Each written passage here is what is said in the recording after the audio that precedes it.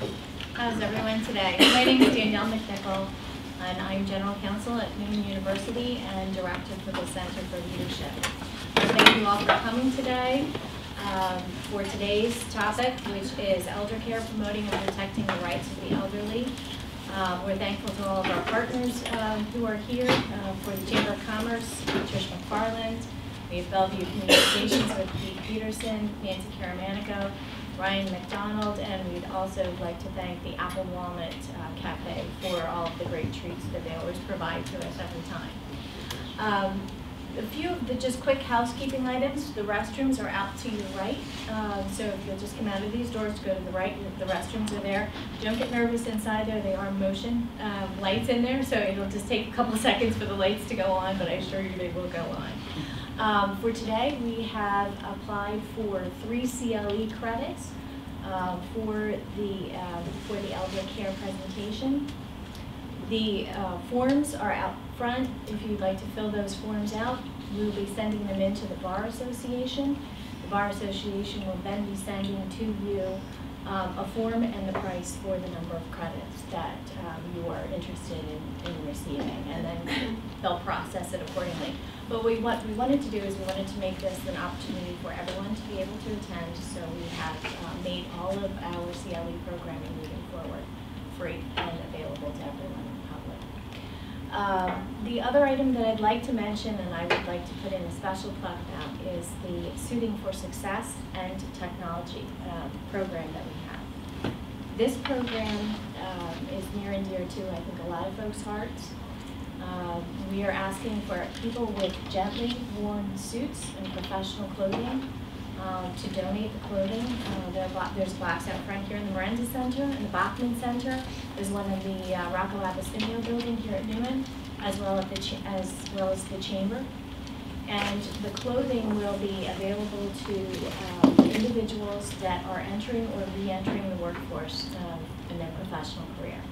So we'll give those, um, those, clo- the clothing will be available to veterans, to returning caregivers, um, to students, and to people that uh, need those to continue their success uh, from an employment perspective. So we would really ask if you could take some time to go into your closet and you can fill out that clothing and also your used technology.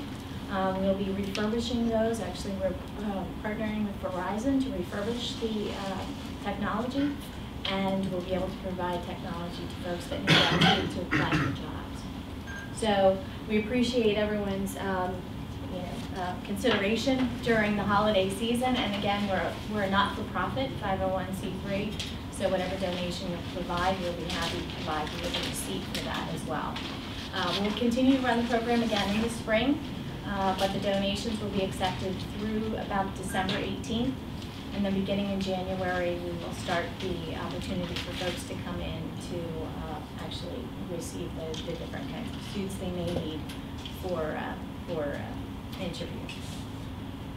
So with that being said, we would like to start uh, today's programming. We would, uh, we have a very um, distinguished group here today, so I appreciate everyone's time. Our first speaker is Delaware County District Attorney Jack Whelan, who's been a tireless advocate for Delaware County residents and elder law. With more than 550,000 residents in Delaware County, District Attorney Whelan has also previously served as the chair of the Delaware County Council, partnering in many crime prevention initiatives, including the Senior Exploitation Unit, Safe School Summit, the the Delaware County Veterans Justice Initiative, and the Heroin Task Force. Delaware County is lucky to have a person like District Attorney Whelan, and Neumann University is proud to have him as an adjunct professor here. So at this time, we would like to welcome District Attorney Whelan. Thank you, Dave. Because I'm losing my voice, I'm going to keep my comments short, but certainly I'll be around today for questions that come up uh, for anyone. Uh, I just want to tell you a little bit about the district attorney's office, because I know I see some new faces out there, individuals that we probably haven't interacted with uh, over the course of my tenure in the district attorney's office. I'm completing my fifth year. I'm term limited. Uh, In Delaware County, people don't realize that um, all the row offices are term limited. Unlike any other county in Pennsylvania, we have 67 counties in Pennsylvania. Delaware County is the only county where the district attorney is term limited. And I'm all for term limits, by the way. Um, I, uh, I believe that uh, there's a lot of great people out there that can serve in the capacity that I serve and can do as good of a job as I do and be dedicated to the residents of Delaware County. So term limits give people an opportunity, other people to serve uh, the, the residents in Delaware County. So I'm for it in legislative positions and uh, also subject to it. As indicated, there's 550,000 people in Delaware County that the Office of the District Attorney and our Criminal Investigation Division serves. Uh, These, indi- these individual offices are broken down into two components of our office. We have our Criminal Investigation Division, and we have our attorneys, which is our prosecutorial unit. I can tell you that there are basically, it's divided into the prosecutors and the investigators. We have our own police department in the office of the district attorney. A lot of people don't realize that also.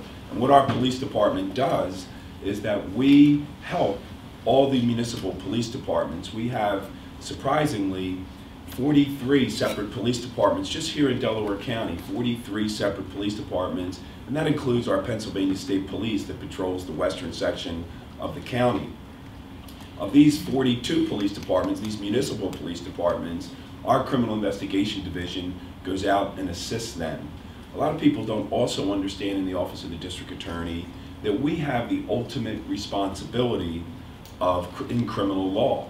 For example, if a police officer makes an arrest, but we think it's inappropriate for that arrest, we don't think that there's probable cause, there's insufficient evidence, or the police officer shouldn't have done that, well then what we can do is throw out the charges and dismiss the case before it even gets far in the criminal justice system.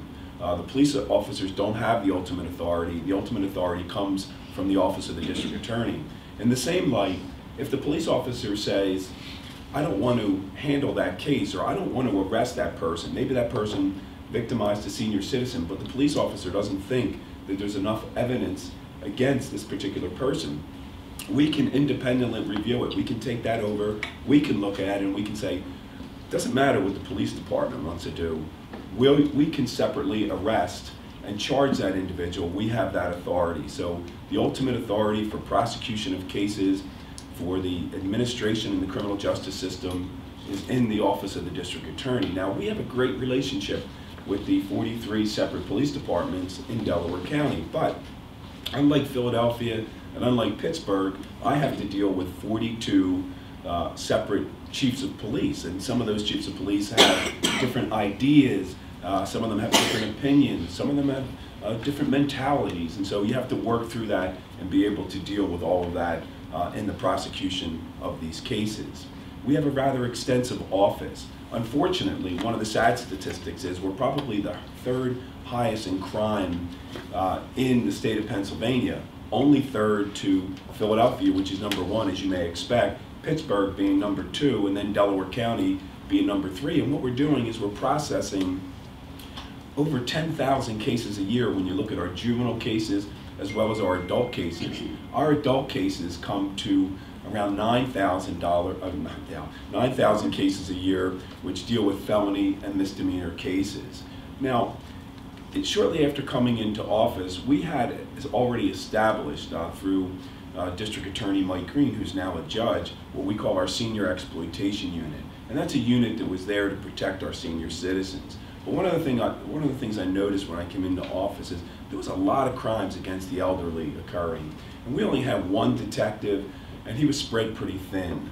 He was doing a lot of educational seminars. He was also responsible for uh, investigating and prosecuting to, to the extent that the cases were turned over to our um, prosecutors in our office, and I'm going to introduce a few people in a couple of minutes.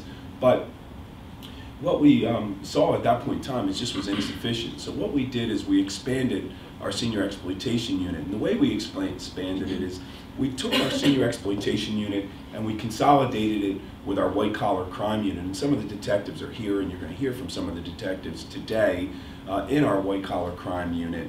And the purpose of that was most of the crimes dealing with the elderly that you're going to hear about today are fraud crimes, crimes involving economic situations where we're taking advantage of the senior citizens. The criminals are preying on the senior citizens. And so, no better place than to take our white collar detectives, detectives that are specialists in dealing with subpoenas for bank records, dealing with the issues of trying to put together an economic case, which is much different than putting together an assault case. So you need a tedious, um, dedicated detective that's going to be able to subpoena all the records, outline it, put it in an Excel spreadsheet, and then be able to analyze all of that information to determine whether or not the senior was a victim and how she, she or he was victimized. We have one of the largest white collar crime units in the state of Pennsylvania. And so by taking the senior exploitation unit and putting it in that particular unit, now we have seven, eight detectives that are now serving our senior citizens and working on these cases on a regular basis. Now, it's a, it's a, it's a shame that we have that type of uh, situation where we need so many detectives, but it's important for our seniors, and it's important to make sure that they don't become victims. Unfortunately, also, is many of the people that victimize our seniors are known to our seniors. They may be neighbors, they may be caretakers, and unfortunately, they may be family members that take advantage of our senior citizens. But what you're going to hear today is, is, is how we protect our seniors. You're going to hear information about how to avoid becoming a victim. And today, we also have with us our Senior Victim Services Agency. And just relatively recently, our Senior Victim Services Agency was going to actually go out of business um, because what was happening is it was a nonprofit independent agency and the Commission on Crime and Delinquency was cutting the funding. I had a meeting with the Commission on Crime and Delinquency, and they had said to me that if you take over the Senior Victim Agency, we will continue to fund it.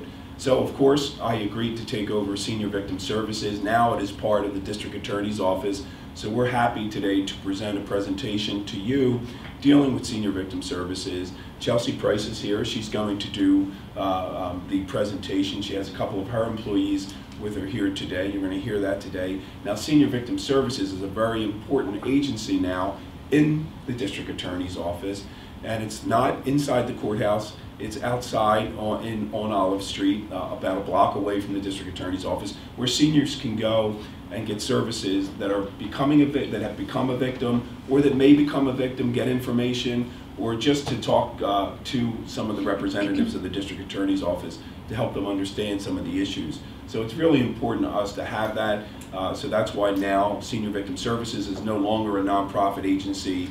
Uh, it's under the umbrella of county government under uh, the District Attorney's Office. So you also hear from them today. We're also very lucky to have with us a number of our white collar crime detective and senior exploitation detectives and our chief uh, of our criminal investigation division. Our criminal investigation division handles all types of crime. But one of the many areas of our criminal investigation, as mentioned, is our white collar crime. And before becoming the head of our entire criminal investigation, Joe Ryan, who is now our currently a chief, he handled and was the supervisor of white collar crime. And he's a graduate of the Wharton School, University of Pennsylvania, and understands finance, economics, and understands how to put these cases together, and understands the importance of protecting our seniors. And he will be one of the guest speakers here uh, today. So I'm very thankful. I'm going to stay around during the course of this morning. We're going to open it up and answer any questions that you have. Any questions you have dealing also with any aspect of the office. I know today we're here for elder, uh, elder crime, and I want you to come back on the 13th of December because we're going to be dealing with computer crime because you may expect that when we're involved in all of these cases, whether they're white collar, senior exploitation, um, sexual crime cases, and unfortunately the many murders that we have here in Delaware County, we use um, computer forensic technology to help solve those crimes.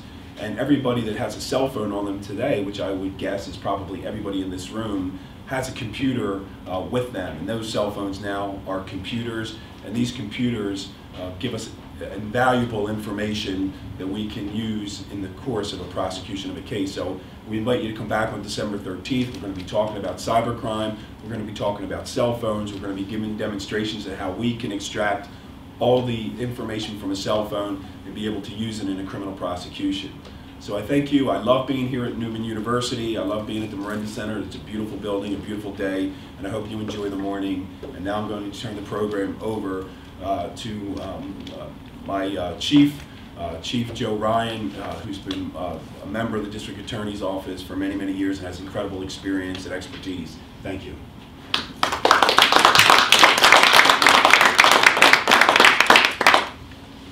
Uh, Good morning, everyone. Um, Just getting over a cold, so I hope my voice holds out. And I hope I don't mess up. I'm not very good at technology, so hopefully uh, we get through the, uh, uh, look at that, see this? You Put a new one on, it comes up uh, one thing at a time. Look at this. It's amazing. All right, so let's get started. So, as Jack said, we've had the unit uh, doing the uh, fraud cases. I've been in the office, um, let me think, about um, 28, 29 years. Prior to that, I spent uh, 10 years with Lower Merion Township Police Department over in Montgomery County. Um, As Jack said, while I was at Lower Merion, I put myself through uh, uh, the Wharton School, got my degree from uh, Wharton, and left police work for a year in between. But uh, if you add all those numbers up, you'll realize that I started being a police officer when I was six years old. Youngest person ever hired in the state. Um, So when I first came in, uh, my, the reason I got hired at the DA's office was because I was able to do the economic crime cases. They had no one at the time who was able to do, uh, who had any experience in the finance field or the accounting field to put these cases together. And as Jack said, over that period of time, we now have seven, seven detectives uh, doing uh, fraud work. We have a uh, program with Villanova University where we bring in a senior, uh, junior or senior accounting or finance major. We're on a six-month co-op at a time to help us with the spreadsheets. And we also have a full-time uh, retired IRS agent who also uh, is working just doing the, the spreadsheet. So the unit has really expanded. The, the problem has expanded not only with businesses and all, but probably the fastest growing area we're seeing is the frauds with, uh, with our seniors. So, you know, why is that? Why do we have such issues with, uh, with senior fraud? Well, some interesting background on this. In 1900, in 1900, only 4% of the population were over 65, about 3.1 million Americans. By 2009, it jumped up to almost 13%, or about 1 in 8 Americans. In 2014, it was about 1 in every 7. Expected to reach 21% by the year 2040. That's a lot of people. You know, people are just living longer. We're going to talk about that later, how, how this uh, increase in life expectancy has really played into uh, our seniors being victimized. Uh, in 1900, the average life expectancy was 47.3 years. In 2013, it's, it was 80.1. So if you look at that, basically, in a little over 100 years, we've expanded life expectancy by, you know, somewhere around 30, 33 years. That's a pretty big number. Average life expectancy for a woman is now 86 years. Average life expectancy for men is 84 years. Does anybody know why uh, husbands die like two years sooner than their wives? Because they can't? No, no, say that, really. Uh, really, it's only escape. It's only escape. Uh, Pennsylvania has the fifth highest concentration of people ages 65 and over. Um, and where our, our population of older people is growing rapidly. In Pennsylvania, right here where we sit in Delaware County, has one of the highest populations of seniors in any of the counties at 15.3%. And if you don't believe me about that, just uh, any morning around Baltimore Pike, and you can see the casino buses running up and down Baltimore Pike. Um, but anybody know why one of the reasons uh, Pennsylvania has a high concentration of seniors? It's a tax thing, right? They're Right, it's a tax issue. So you'll have a lot of seniors from the surrounding states, when they retire, they'll actually retire to Pennsylvania, because Pennsylvania does not uh, tax their pensions on the state level. So it's a, you know, it's sort of a haven for a lot of seniors. So, why are seniors, so we have a little bit about, about the demographics, so why are the seniors targets? Well, if you look at our elder generation now, as I said, people are living longer than they ever have before. Um, first generation, basically, people in their 80s and 90s now who are still healthy out there. Really the first generation to benefit from Social Security over the long haul. They've had lives. Uh, first generation, maybe the last generation to benefit from high quality pension plans. Especially if you look at here in the Delaware County area, we had a lot of really good companies that these people retired from. You know, the post office, uh, Westinghouse, uh, the uh, shipyard. Uh, there was a lot of good Boeing that's still there. But there are a lot of good companies here in Delaware County that had really good pension plans, that people retired and are having, you know, great pension plans. And for the most part, the, older generation, the children of the Great Depression, they're a generation of savers. Uh, you know, I remember growing up, we had one credit card in the house, and uh, it was for uh, Sears. And the only time that credit card got used was if the washer broke. I mean, it wasn't go out and put stuff on the credit card. It's a whole different mindset now with the younger generation where, you know, credit's a big issue. Um, uh, the, I'll go, I'll go skip this one, the increase in home value. You know, you look at people who bought their houses in the, in the 60s and 70s, and what has happened to those home values between the 60s and 70s and now. You look at people who might have bought houses back in, in, in those times, paid 10, 15, 20,000 for houses that are now worth, you know, well over $100,000, sometimes even up in the 200s, depending on what neighborhood uh, those houses those houses sit in. But the medical advances is a very, very uh, important part, I think, of the reason we're seeing a lot of the uh, problems and a lot of the fact that the seniors are being victimized. And that is, you know, we talked about the life expectancy, you know, up close to uh, 40 years. If you think about it, though, the medical advances have been on the physical side. You know, heart disease, they have pretty much under control. Cancer, they're making great inroads on. People don't die of a lot of these diseases at a younger age. They're living longer. However, 20 years ago, did you ever hear of dementia? Did you ever hear of Alzheimer's? Really, you really didn't hear about those things 20, 25 years ago. The advances medically on the mental side have not kept up with the physical side. So what that has created is a whole population of our seniors who are still living out in the community who can get up every day, you know, they take care of their house, they, uh, you know, they can do the base, take their medicine, make their breakfast and all, but they're just not as sharp mentally as they used to be. So they're targets for a lot of these scams. Uh, you know, their memories are bad. I know even, you know, even at my age, I'm having a hard time sometimes with names. Um, it's never a problem unless you call your wife the wrong name, then that could be a problem. But, uh, other than that, uh, it's really not that big of an issue. So what are we seeing? What types of fraud are we seeing committed against the elderly? Well, identity theft, fiduciary theft, credit card, debit card fraud, home improvement, construction fraud, telemarketing, and now growing, growing quickly is the internet fraud. Uh, when I started giving this presentation, or a variation of it, like 20 years ago, that wasn't on my list. It's on my list now. It's on my list big time. All right, so what is identity theft? Well, identity theft's been around forever. It's sort of a term that uh, you know, I was talking to Steve uh, ahead of time. He's been doing fraud as long as I have. Identity theft wasn't, a, wasn't really a term 20, 25 years ago, but it was happening. Things were happening. People getting credit cards and using it. But now it has its own title called identity theft. So basically, it's anybody using anybody's information to create some type of account uh, to benefit themselves financially. First started, it used to be uh, basic credit cards. You're talking about people that open up credit cards. But now it's everything. It's loans, it's investment accounts, it's anything that they can do to steal people's information. Sadly to say, what we see overwhelmingly when we talk about our seniors is that the people who are committing these crimes, as Jack had mentioned earlier, excuse me, are usually relatives or close friends, and more so relatives than others. Because one of the scenarios we see, and again, this goes back to the demographics, goes back to how I think that's so important that we're aware of how the demographics are changing, because, you know, this generation now, so we have seniors, grandmom and grandpa, uh, or even sadly to say a lot of times grandmom, because grandpop's died, still living in the house, and they have this generation of children or grandchildren who are coming back home to mom and dad's house or grandma and grandpa's house, and usually they're coming back not for a good reason.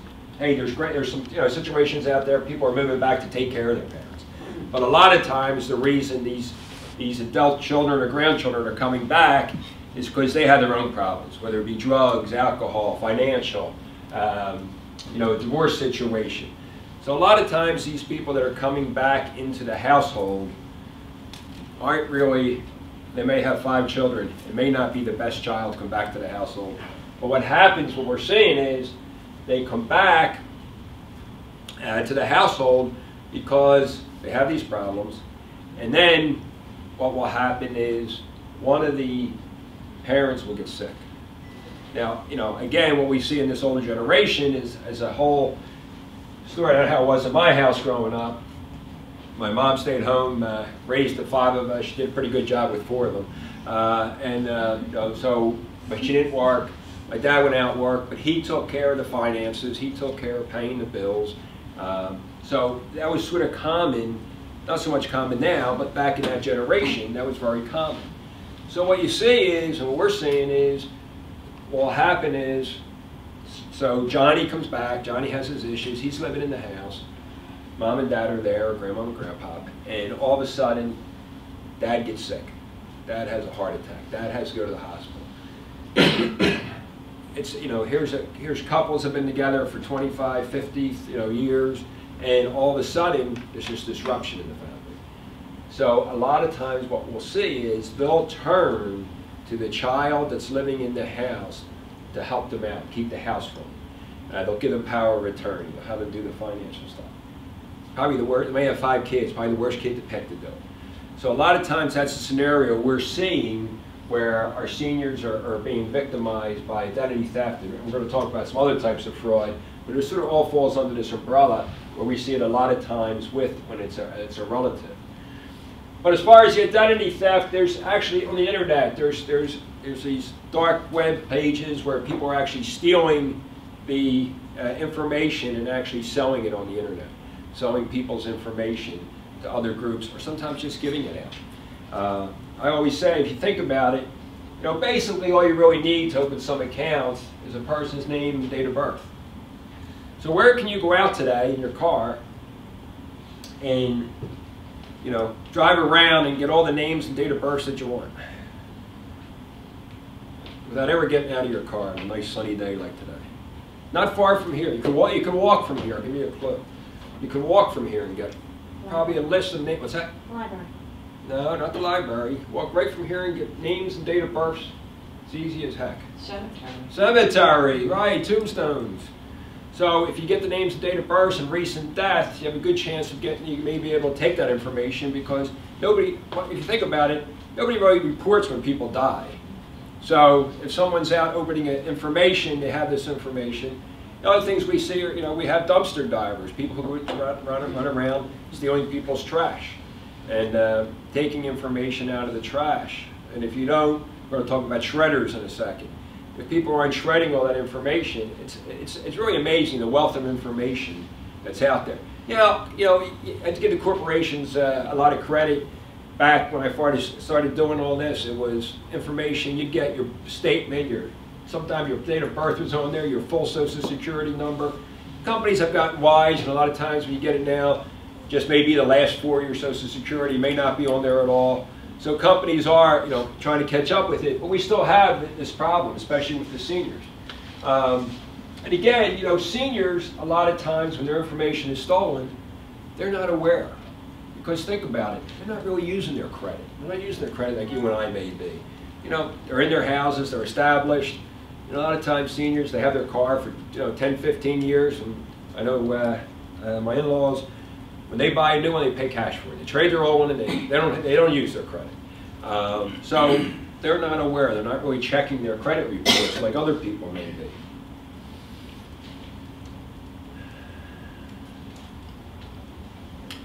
So identity theft, unauthorized use of existing credit checking accounts or creation of new accounts or loans using victims' identities. In 2014, 8% of persons 65 or older experienced identity theft victimization. A lot of people, and 8% of people over 65. Misuse of an existing credit card accounted for 64% of identity theft crimes in 2013. So although we have these other types of identity theft, loans, buying cars, buying houses, uh, we're still seeing um, we're still seeing the, the, the, the uh, bulk of it is in the, in the credit card uh, area. You know, we have uh, one of the things we do is insurance fraud, and just uh, as far as identity theft, we've actually handled cases. We have one right now. We just we just made an arrest on where a person got another person's medical information. This isn't the first case like this we've had, and actually went and had a, a baby delivered on somebody else's information. So they actually, you know, so it's everywhere. I mean, identity theft to deliver a baby, think about it. using someone else's insurance information. Yes? Joe, is this data Delaware County, these percentages, or is these this national? here, these here are national. That's national. Here are national.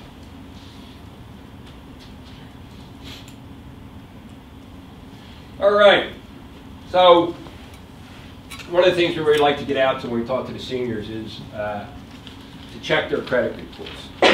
Now, you know, they're making it easier now. Now there's a federal law, I always say it's a couple years old, but now it's probably 10 years old at least, where, you know, before it was very hard to get your own credit report. Now there's a federal law that you have to be able to get your credit report every, uh, was it every year now? So what I suggest is there's three main credit reporting companies, Experian, TransUnion, Equifax. For the most part, the information is the same on all of them, but I always suggest if you can, contact one every four months and get, get one from a different company, because get, each one has to give you one once a year.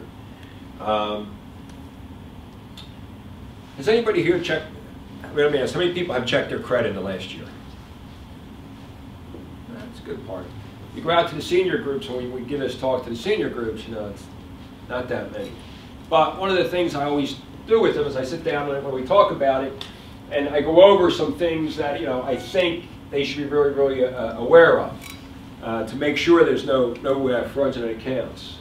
Um, so, you know, what do I tell them to look for? Well, one of the first things is the top of your credit report is what we call the header. It will have basically your name, addresses, that type of information, social security numbers. I always say, you know, if your social security number is one digit off, if they have like, you know, and it's a seven and it's a nine, that's probably just an input error. I mean, somebody misread a seven for a nine. Uh, if it's significantly different, that's a red flag. The other thing I always say you really want to look for is different addresses. If on that header information, you know, they'll list, they'll list past addresses. There's an address on that credit report you never lived at, that's a big red flag. Because of course, once somebody gets your credit, what do they want to do? They don't want those credit cards going to your house, they want to go into their house. So they're going to try to change the address. So that, you know, on the, on the header, uh, that's really a uh, important thing to look at. Again, the social security numbers, if they're significantly different, I think that's important.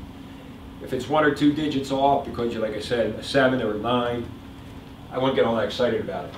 Uh, next section on these is that it, they're, they're all set up a little differently, is on the open accounts.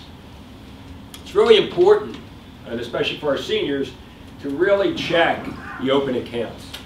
Because it's not just good enough to go down there and say, oh yes, I have a Macy's card. Uh, I have a, uh, oh, I have a, uh, you know, a, a Visa card. You really want to check the account number associated. Because what some people will do when they steal identity is, and they if they can get the information that's on your credit report, or they're in your, uh, uh, you know, they steal your mail and they see where you have cards. A lot of times they'll open ones at the same businesses. So they may open a Macy's card, they may open a, uh, you know, a, uh, a Visa card, wherever. So it's very important to take time going through the open account section and and look at what's open. Now, the other thing is, if there's a lot of accounts that are still listed as being open on there that you don't have anymore, it's not a bad idea to get, on, you know, get a hold of them and see if you can get them off. And there's two schools of thought on whether you should have these accounts taken off. I think you should, if you have these old accounts. You know, so if you go home and you, you look at your credit report, you still have a, a Gimbels card on your, uh, on your credit report, it's safe to say, okay, now I really feel old, so you saw two people laugh. I mean. How about if I said Lit Brothers? We never, uh, yeah, probably still know about it, but anyway. Right? These two guys over here are looking at me like, what the hell is he talking about? Um, so, the, the recent inquiry section, I feel, is one of the most important areas to look at on your credit report. And this is why. When you go home today and you get your mail and you have these pre-approved offers for this company and that company, what happens is, uh, they're the pre-approved. We're going to talk about them in a second. That's not what I'm talking about. What you want to do is, in that recent inquiry section is, anybody who's looked at your credit, it pops up there.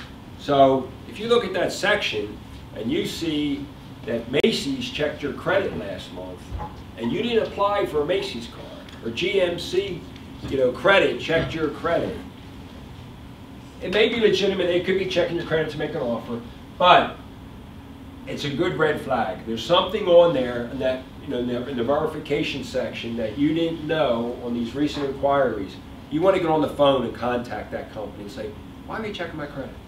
Because it- it could be a red flag that somebody's trying to get credit in your name. Now, the last section of most of them is what we call the pre-approved. That's when I go back to saying you go home, and you get all those offers in the mail. You don't really have to worry about them too much because what happens uh, if they're on your credit report, um, these companies buy information. They buy, for lack of a better term, they buy group credit scores. You fall into a certain, that's how they make you those offers because you meet their requirements. So they're the ones where they're sending you a home, and you get all this stuff in the mail every day. So that's sort of a brief overview of the, uh, of uh, looking at a credit report and, and, and things to, things to look for. Shredders, shred everything. Address labels, utility bills, financial statements, these pre-approved credit card applications, old checks, anything with identification information. Again, this is something that's, you know, going by the wayside, old checks, nobody gets their checks back anymore. But you still get copies of them in the, uh, in their financial, you know, in their monthly, most people, if they're still getting their statements in the mail, are still getting at least a, a face sheet with maybe ten checks on them. Uh, You know, uh, we don't give, uh, most banks, I don't know of anybody actually who still gets their old checks returned to them at the end of the.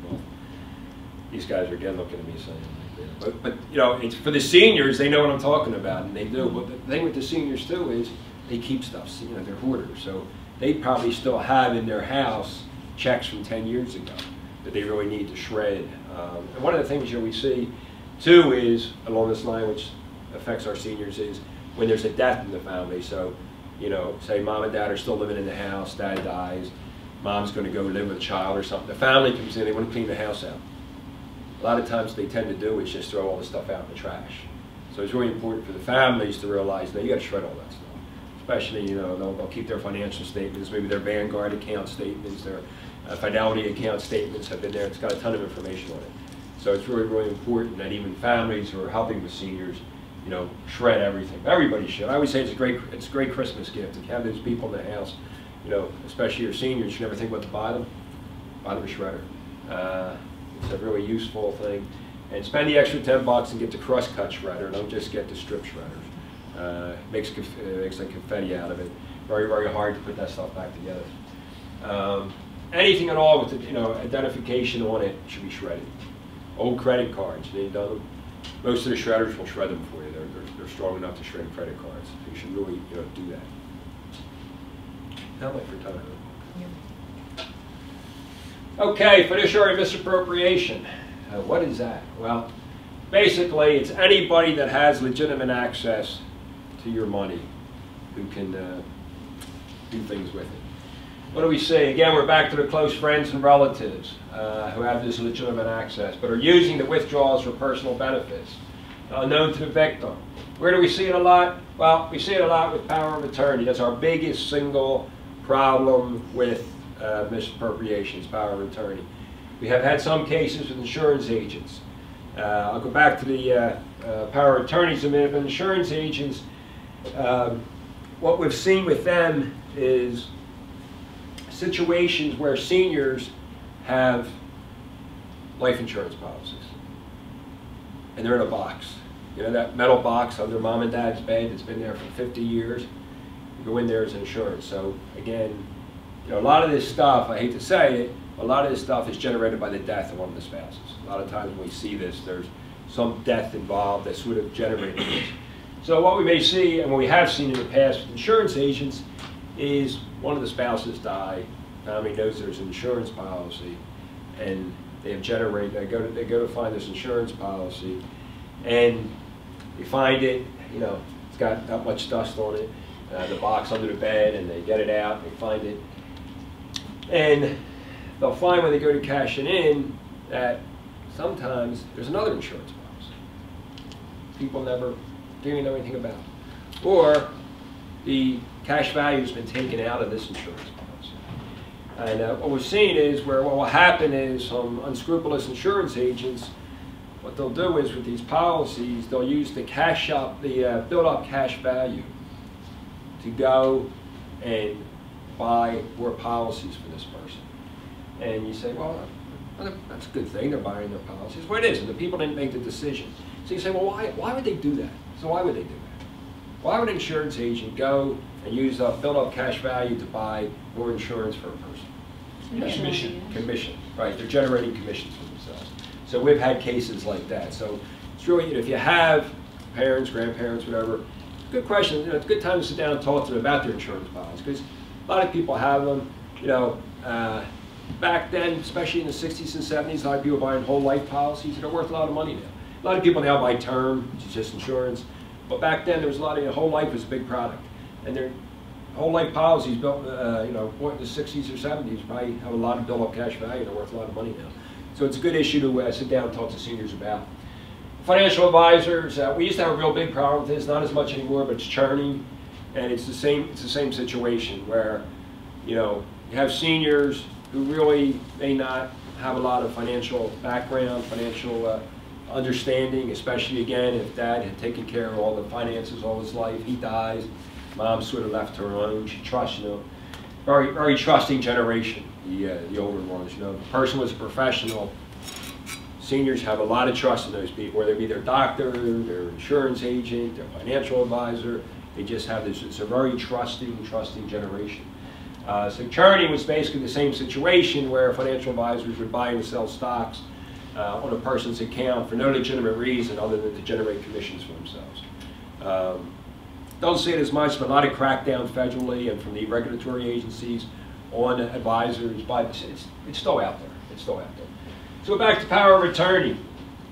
Again, that's our biggest single area where we're seeing our seniors being victimized by close friends or, or you know family members. Um, again, it gets back to the situation I talked about earlier. We have children and grandchildren coming back home uh, to take care of uh, family members, mom, dad, whatever. And the, you know, the typical scenario is they're there, they have a drug problem, they have an alcohol problem, they have a gambling problem, know, through a messy divorce, uh, they basically have financial problems. They're with mom and dad, one of them gets sick, big uh, problem in the household, maybe it's again dad, mom doesn't uh, really take care of the finances, so instead of this isn't really the time to think about who should we make power of attorney. So what they do is, oh, well, Johnny's here, Mary's here, they're here all the time, let's make them power of attorney. They turn around and make this person power of attorney and figuring, that's my son, my daughter, you know, they know, they know in the back of their head, they know this person has a gambling problem, they know they have a drug problem. But, you know, at the time, their, their, their world's upside down because the spouse is sick in the hospital, uh, and they turn. And we, I can't tell you how many cases we've seen where the accounts just start getting drained because they have the power of attorney. I had a case years ago where a, uh, a, a woman had her grandson. Uh, power, he came to live with her, he had some issues, um, gave him power of attorney. He moved her five different nursing homes a little over a year uh, because he wasn't paying the bills, and when they put her pressure, he would just transfer her. At the same time, he took all her money and bought, her ha bought a house down in Ocean City, New Jersey. Of course, he bought it in her name, not his power of attorney. But uh, he was going to Ocean City every weekend while she was uh, being shuttled from nursing home to nursing home. Uh, so, you know, it's out there. It's, it's, it's a big problem. Um, one- yes. are these power of attorneys that you're, the documents, are they, do they do-it-yourself power of attorneys, or are they? No, a lot of times they're, they- they're done by an attorney. Um, you can technically do it by yourself, but Right. attorneys. And, you know, I know that um, uh, when Jack, Jack used to do, uh, you know, before he became DA, had his own practice, we've talked about this numerous times. He would uh, make the people come in with the person, sit down, talk to them, and explain quite clearly to them, you know, what this works. And then he would have the person, you know, the elderly person, stay, ask the other person to leave, and really go over a series of questions, and making sure they really knew. Now, they did change the law probably about 10, 15 years ago. Um, gave a little bit of teeth, but it doesn't really have as much teeth as I think it should have. But basically, what a power of attorney is, you know, it's not giving someone the power to use that person's money for themselves. It's giving them the power to use that money for that other person's benefit. Um, so they have to keep records. Uh, they have to uh, keep accounting. Do they do it? No, they don't. Uh, but what the, when the law changed, they make the person giving the power of attorney sign a form basically explaining, you know, what, what power you're giving up here, what power you're giving to this person. and they make the person who is um, becoming the power of attorney sign a similar form saying, this is your responsibility, is what you need to do. So, has, has it worked? Know. Uh, We're still seeing the cases, so I don't know how, how much it worked. And one of the other issues we see too, uh, with these fiduciary situations is, you know, you have the neighbor um, of a senior, and maybe they're doing the shopping, shopping for the senior or something, and the senior gives them their debit card and says, you know, pay for this. And hey, look, it, uh, can you give me a hundred dollars out so I have some, you know, money for this week? And, you know, we've seen cases where, yeah, the neighbor's doing that, but they're also taking a hundred out for themselves. Um, you know, I, I always joke, because I go back, when I was uh, uh, young, I used to work at a grocery store, and uh, they were doing deliveries and all. There was an old lady who lived down the street from us, and uh, every day, we delivered, she would order her stuff every day, but then she would always forget, so she would call up the store, and, because I lived on the street, say, oh, when, when Joe gets done work, can you drop off uh, this? And there was no, and she, every time you went to her house, she gave you a dollar, which at the time pretty good. Uh, there was no truth to the rumors, though, that I used to purposely forget to deliver stuff to her just to get another dollar. It's like, That's not true. But we do have, you know, situations where we're having this. And now people are giving debit cards, they're giving their PIN numbers, and uh, we're seeing where they're taking out extra money. And again, you know, a lot of times the seniors aren't checking their accounts every month, which we really strongly urge them to do when we give the talk, is to go over that account every month. But some just don't, they just don't really look at them. So they don't really notice that the money's missing until it gets to a point where it's significant out of their accounts. All right, the credit, I know, we say now credit card, debit cards, basically it's the same card. You know, you, you up, they ask you, you want to use credit, you want to use debit. You know, basically the difference is with the credit card versus the debit card, the debit card's, you know, tied into an account.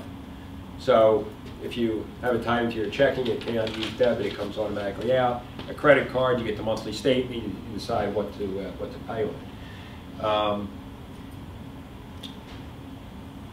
one of the things we talk about a lot with our seniors is not to give their, their cards up, uh, especially in restaurants. You know, there's an issue out there uh, with, with skimmers. I think I have on my next slide, it's going to be a picture of a, uh, of a skimmer. Basically, basically what you'll see every now and then, I know Steve works the Secret Service a lot, the Secret Service does a lot of these jobs, where, especially like upscale restaurants, you know, you, those, that's where we're going to the chip cards. I don't know why we're so far behind. Europe's had the chip cards for years.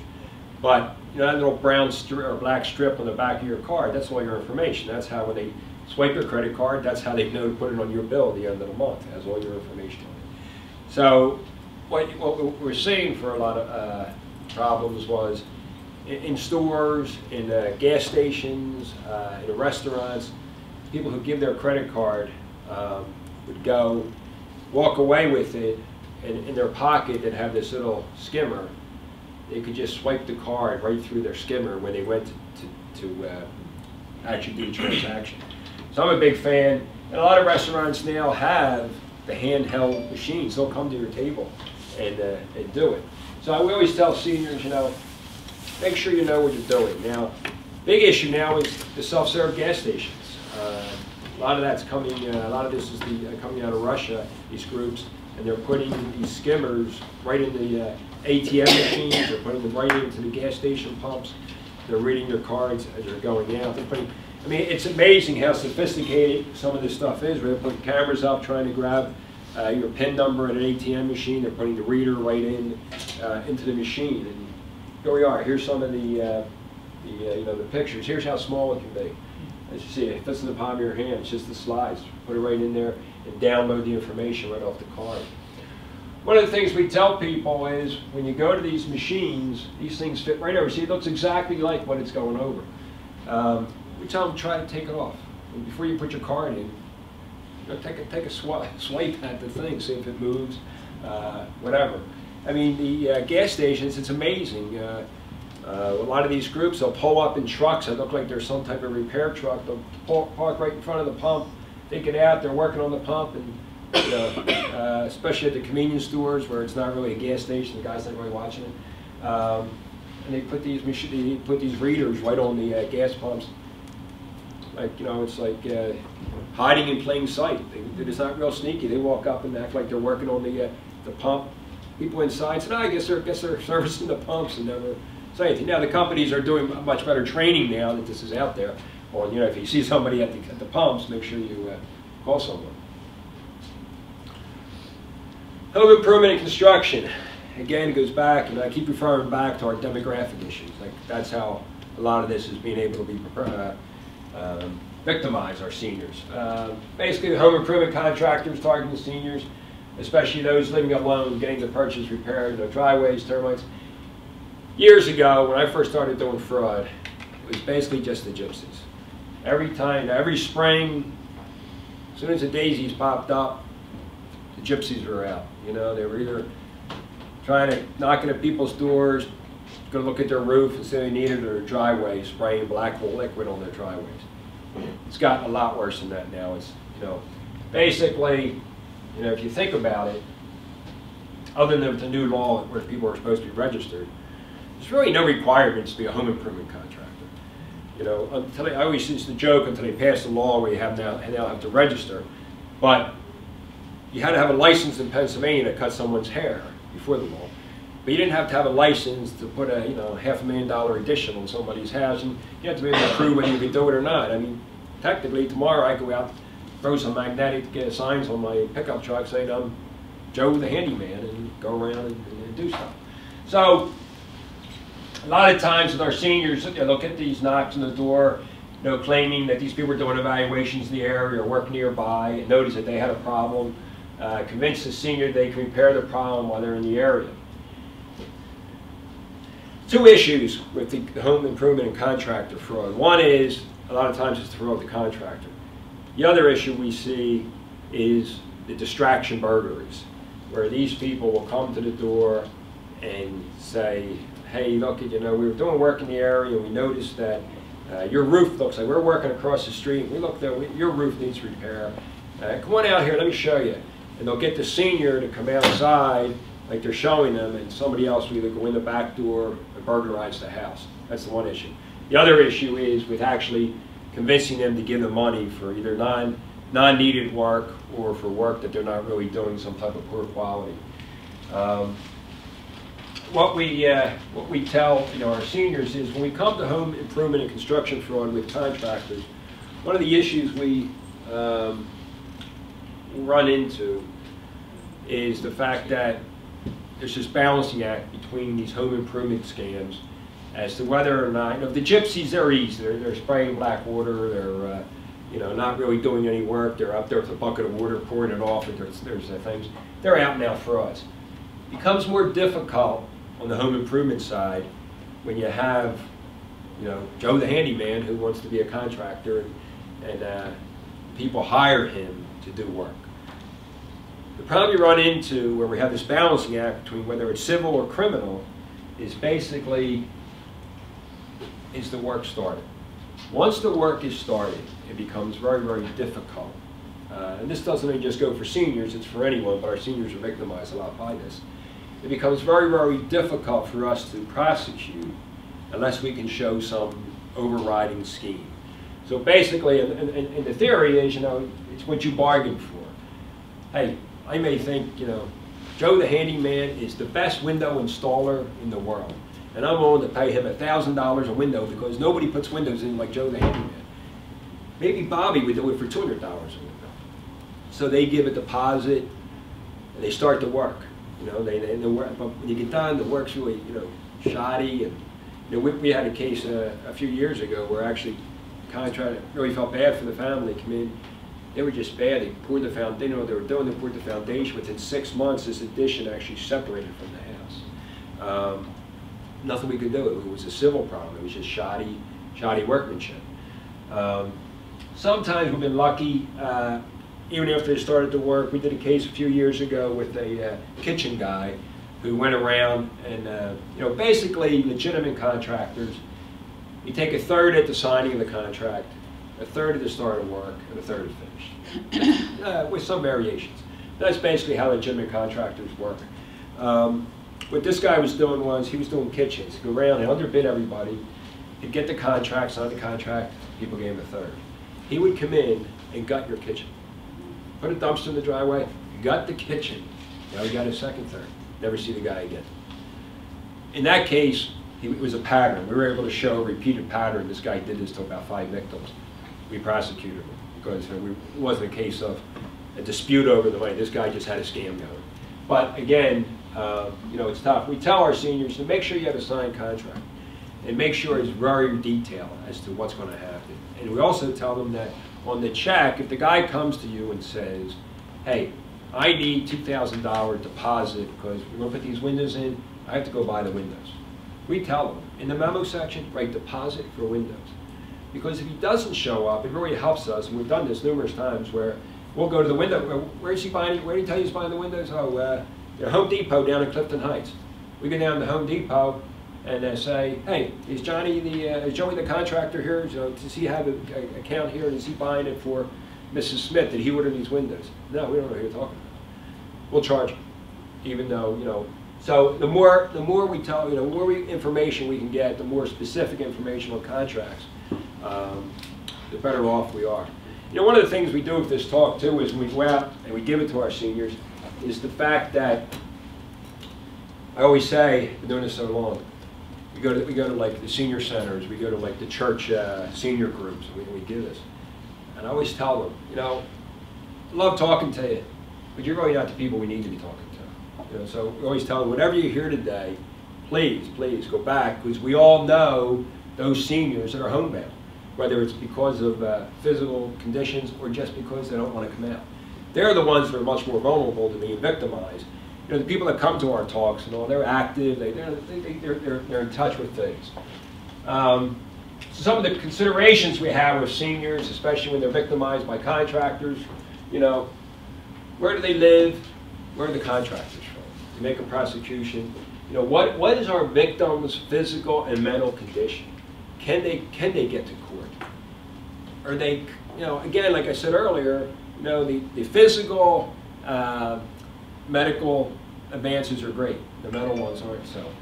So you get someone on the stand who's very confused because, you know, Alzheimer's or dementia, and uh, you know, if you're all familiar with uh, what we call sundowning, you know, we want to get to our seniors early in the, in the day. Uh, if you come to talk to me in the afternoon in my office, I may be asleep.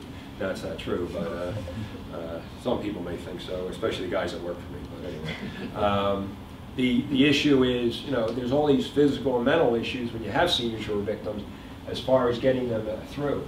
But one of the other issues is, and this is something everybody has to really be aware of when they're dealing with seniors, is the last three things I have here. The fear, the embarrassment, and the independence.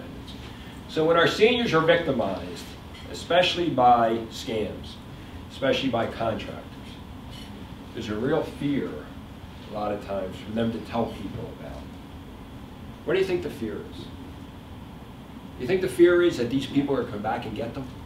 The people who, who victimize them, they're home alone, they're going to come back and get them? Do you think that's what the fear is? That's not what the It's fear is. fear family will find out and they'll be put away somewhere. That's the fear. The fear is they're embarrassed they ever let themselves get in, they know better. And the fear is that if they tell their family, that all of a sudden their family's going to say, mom or dad, are they're losing it. We got to go in and, you know, what's the one thing nobody wants to lose? Their independence. And our seniors, you know, this is, this is their independence. They're living alone, they love it, uh, but they have this real fear. And it's really, really shocking. When I first started doing senior fraud, it was, it was an eye-opener to me that we had victims that wouldn't report uh, because of this, this issue of being fearful that, you know, mom or dad can't handle themselves anymore. Maybe it's time for the nursing home. Maybe it's time for us to take over their finances. So it's really a big consideration that we have to worry about when we're dealing with seniors, whether or not they're, being honest with us, um, you know, all the time. Um, one of the oth- you know one of the other issues is, and I uh, had a woman one time who was doing lottery scam. She uh, got the phone call that she had won the lottery and uh, not like the prize patrol, and uh, they were coming to her house, and, but she had to send money, and she sent five thousand dollars because they were going to bring the big prize.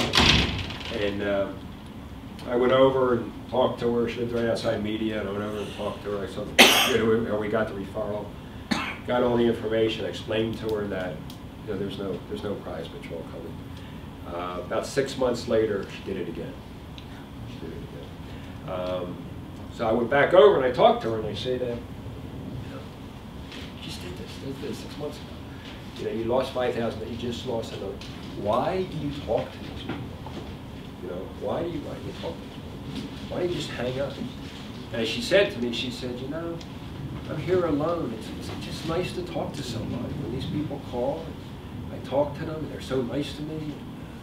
You know, it's just nice. I'm going to show a video uh, at the end here, a short video about, uh, right, right on point with that. Uh, You know, some of the other issues we have with uh, the uh, prosecution issues is that it is a global problem. Sometimes with some of the, uh, uh, the uh, identity theft scams, suspects are difficult. They're organized groups, they're counterfeiting documents. As much as we see that, it's not our biggest problem. Our biggest problem with senior fraud is friends, and neighbors, friends, uh, relatives, and neighbors. Yeah, do we see this stuff? Yeah, but it's really not. It's more grassroots stuff. It's more homegrown uh, victimization. You know, can the suspects be identifi- identified? Um, Again, we talked about the written agreement for work, what exact work was agreed to. Uh, You know, where is the check cashed? A lot of times, you know, that's how we uh, track people. We find out where the check was cashed, check cash or whatever. We may have a picture, we track it down that way on the, uh, on the back of the check. So a lot of times we have our seniors uh, victimized. One of the first things we try to do is, and you're going to hear from Chelsey, we try to get senior victims involved in helping us, helping us help the seniors get the documents that we need to prosecute these cases, because sometimes they don't really understand why we need things. Uh, Telemarketing fraud, 2013 study indicates over 40 billion per year is lost to telemarketing fraud. That's overall, not just seniors. Studies report that 50% of the telemarketing fraud complaints were from people 50 years of age and older.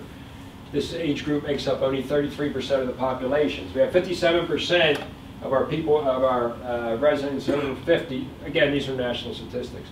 Um, but it's only 33% of the population. Again, as I just touched on, why seniors are more likely to be at home to receive calls. They're, they're not, they're not working, especially, again, this goes back to why when we give the talk, I, I try to hammer home, you need to go out and talk to the people from your church, from your social group, from your neighbors who are homebound. Because these are the people that are going to be victimized, because they're likely to be home. Um, they're not easily, it's, again, it's a trusting generation. They're not easily recognizing the fraudulent phone pitches, and they're just too polite to hang up. Yes? Yeah, just a quick question, um, especially the, these incident you, you raised just a few minutes ago about the woman who put five thousand out and put another five thousand out. Um, When you guys get, become um, aware of these circumstances and you get an opportunity to talk uh, to these seniors, is there any other direction or advice that you can send them, where you can send them to help them? Well, what we do is senior victim services, and uh, a lot of times, uh, what we do is we go in, we, a lot of times that's why we're going to go out and talk to them at their house, because we try to sum up with the- any other social services, like, we have a very good relationship with COSA, which is the mm-hmm. County Office of Services for the Aged.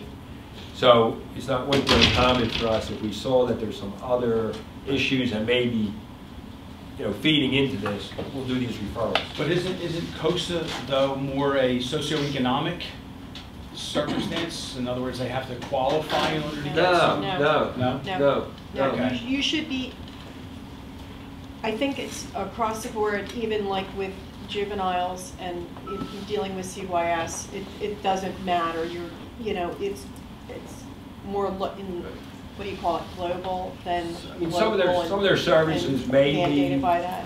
Okay, some of their services Yeah. may be based, Some. but they'll go out and do an assessment.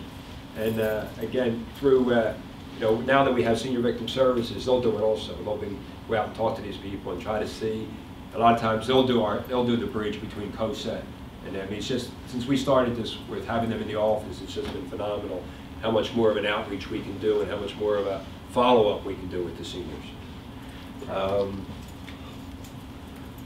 I, um, just something I found really interesting a few years ago, I read a summary of a, a study, but I, that's all I did was read a summary of a study that talked about the deterioration of the brain as we age. And the part that is able to recognize like a fraudulent pitch that's part of the brain that deteriorates. Um, I, I'm not going to say like early, but earlier than maybe other parts that like the self-care and able to manage oneself in one's home. That part of the brain deter- is deteriorating earlier than those other parts. So there could be seniors that are very well able to take care of themselves, but unable to tell when someone's being insincere, as they pretend to be sincere. And- It's and- really interesting. I wish I read the whole. Well, and, and you know, I mean, it comes right down to it. What's, well, what really drives a lot of this, no matter what your age is? Greed. You, know, you think you won the lottery, uh, you know, so everybody has this like greed in them. They think they're getting a better deal. Well, and with the elderly, like with the lottery thing, it's like, oh, I want to leave something for my family, and my Right. grandkids, and my kids. Yes, yep, uh, that's true. You know, there's another, and uh, Chelsey and I were just talking about this the other day. I read it, I read it, maybe Steve, maybe Steve, you're aware of this. I read a study years ago, I don't know what I ever did with it, but there was a study done showing that seniors who are victim, victimization of fraud have a, um, you know, a uh, higher, I would say a higher death rate, but a, a quicker death rate than non-victims. And the study was based on the fact that, you know, you or I, we're working, we lose, we, you know, we're victimized, we become a, a victim of fraud or something. We're still working, we make the money back. But when you have a senior citizen who loses a substantial amount of money and they're victimized, they don't have any way of getting their money back, you know, and that's their, their uh, tax money, that's their medicine money, that's their food money.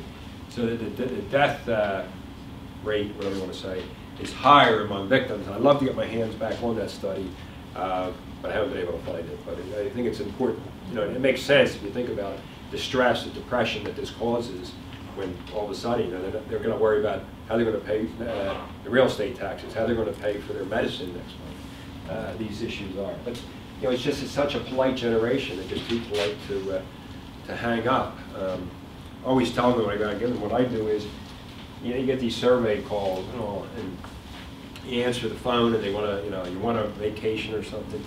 So what I always do is I say, uh, wait, wait one second, I just put the phone down on the counter and walk away. And just leave the phone on, you know, and then kids will walk by and say, why is the phone on the counter? I said, ah, it's a sales call. I said, pick up and see if they're still on there. And, uh, you know, you just don't talk to them. I mean, they do that a while, they won't call back anymore.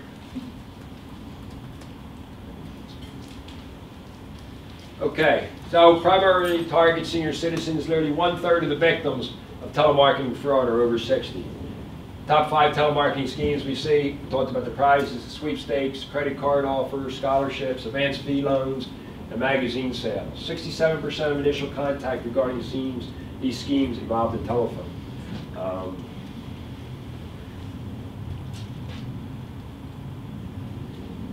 You know, it's devastating to seniors more than other groups. I just talked about this. The financial losses are devastating to those with fixed incomes. They lose their self-esteem and question their ability to care for themselves.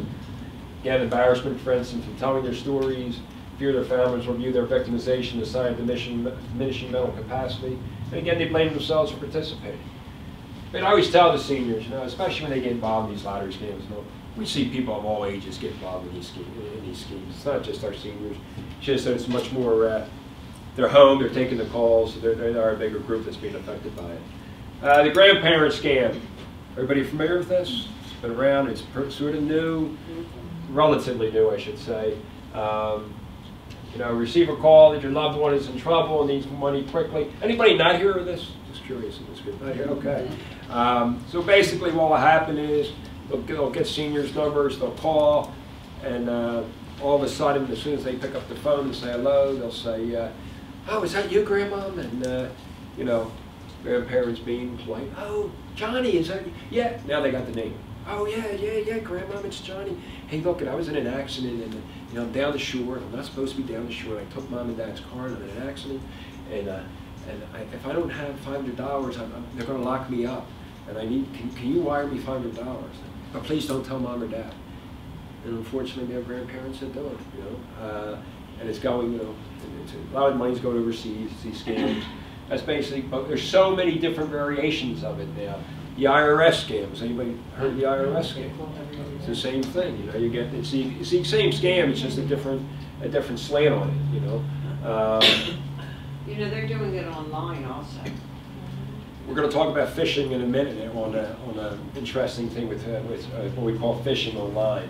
Um, you know, once the money is wired, it's difficult to track. What people don't realize is, they'll, they'll tell you, they'll tell you to wire it somewhere, but then you have to call them back, or they'll call you back, and they want the, the PIN number, for lack of a better number.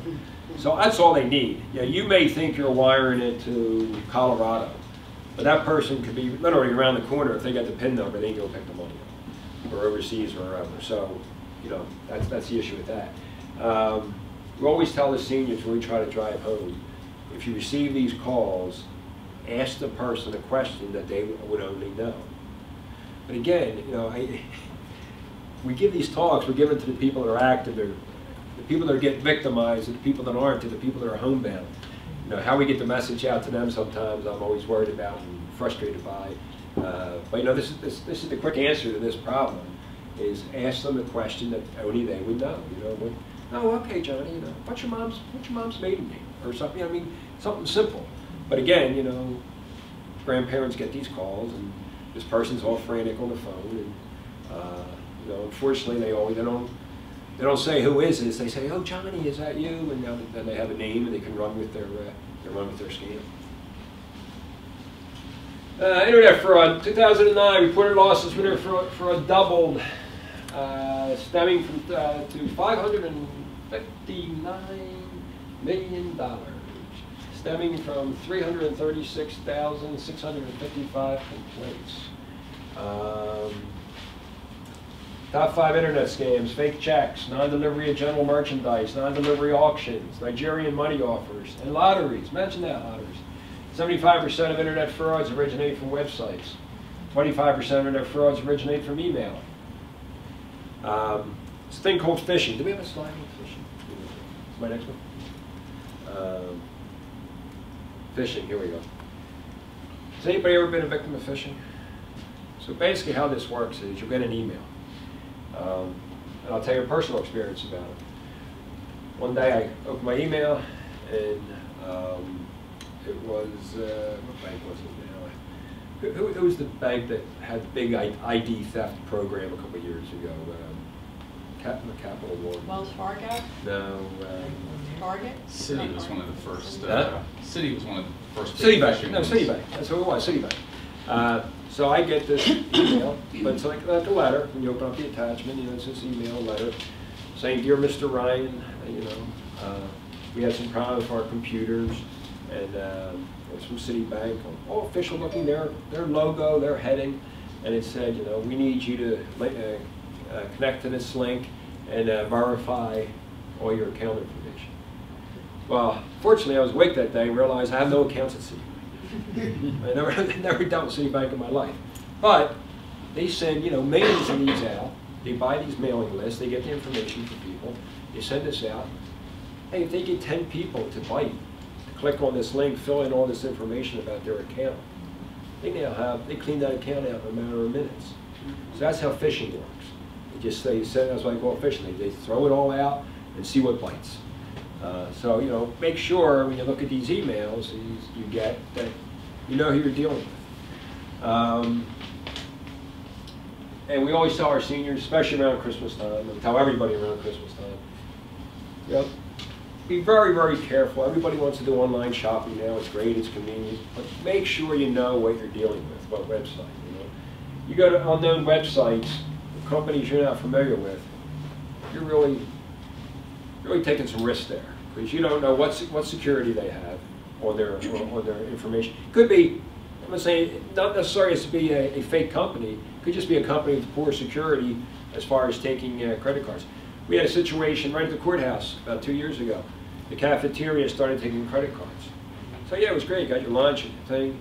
Uh, within about uh, two months, couldn't tell you how many people uh, in the courthouse got uh, their credit card scammed because the third-party company that they were using to process the transactions did not have the proper security features. And they were being hacked into and get everybody's credit card information, right at the courthouse, right at the, uh, the cafeteria. So it's really, you really take a risk when you go to unknown companies online. Not the fact that, again, you know, it could be a fake company to begin with, but it could be a legitimate company just doesn't have the proper security for your uh, credit cards. Um, so, basically, you know, fraud against seniors on the rise. Our seniors are targets due to their problems associated with aging. Uh, again, you know, it's a wealthy generation. We talked about those issues. They're a generation of savers. Uh, you know, Social Security, good pensions, their housing, where they, sold, they sold their house and they have this money. I mean, it's not uncommon. We see these cases.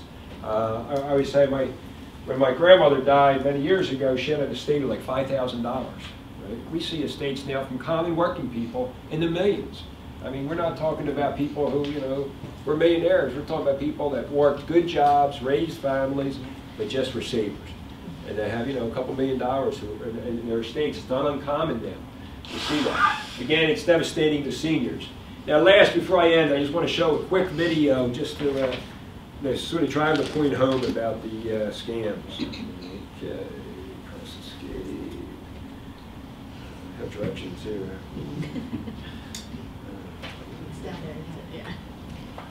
there you go. There you go. So, As you can see, this is why I need the Villanova Co-op, because I'm not technologically advanced. There we go. Yes.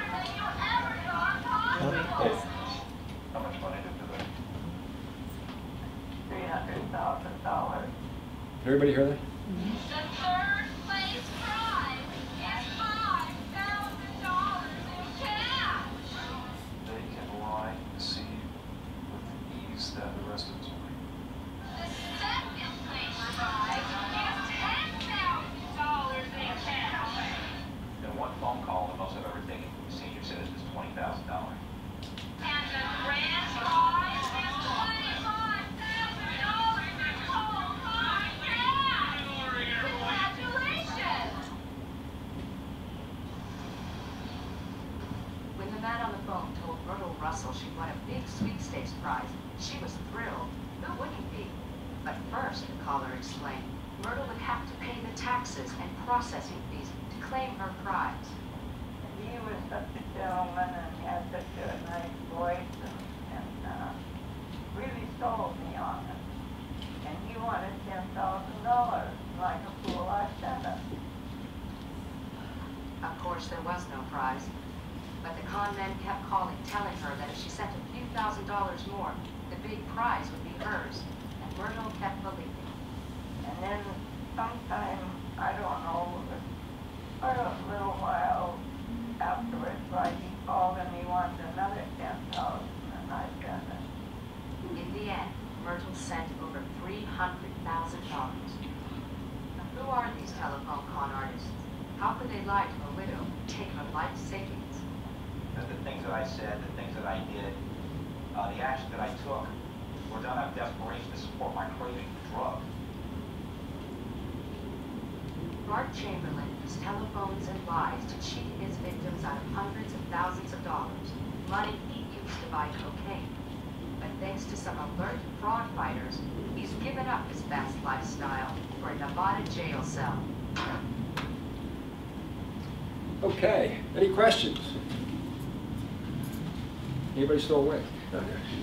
All right, so I guess at this point, Chelsey?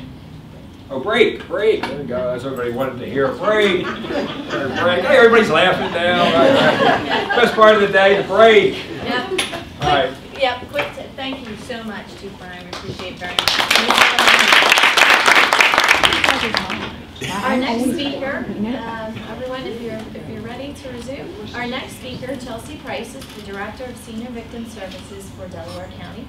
Earning her master's degree in public health with a concentration in community health from West Chester, Ms. Price joined the Delaware County DA's office as Director, ensuring victims of crimes over the age of 55 are informed of their rights and obtain services necessary to recover from victimization. And please welcome, folks, uh, Ms. Price to discuss the solutions for Hi, good morning, everyone. Thank you for having us. Um, Following Chief Ryan is a difficult act to follow, uh, but today I'm just here to expand on some of the things that he already spoke to you about, uh, such as financial crimes. And I also want to give you an overview of what our unit within the District Attorney's Office does, introduce you to some of the individuals that um, I work alongside with every day, and also give you some real-life examples of what we see come through our office every day as well. Okay, so just to give you an overview, as you've heard, uh, we know that our seniors are vulnerable for a number of reasons. Uh, when we're talking about telephone scams and when we're talking about email scams, they rely on the fact that our seniors are vulnerable, that they want to speak to someone, uh, that they might not have any family or friends that are around um, to speak with them during the daytime.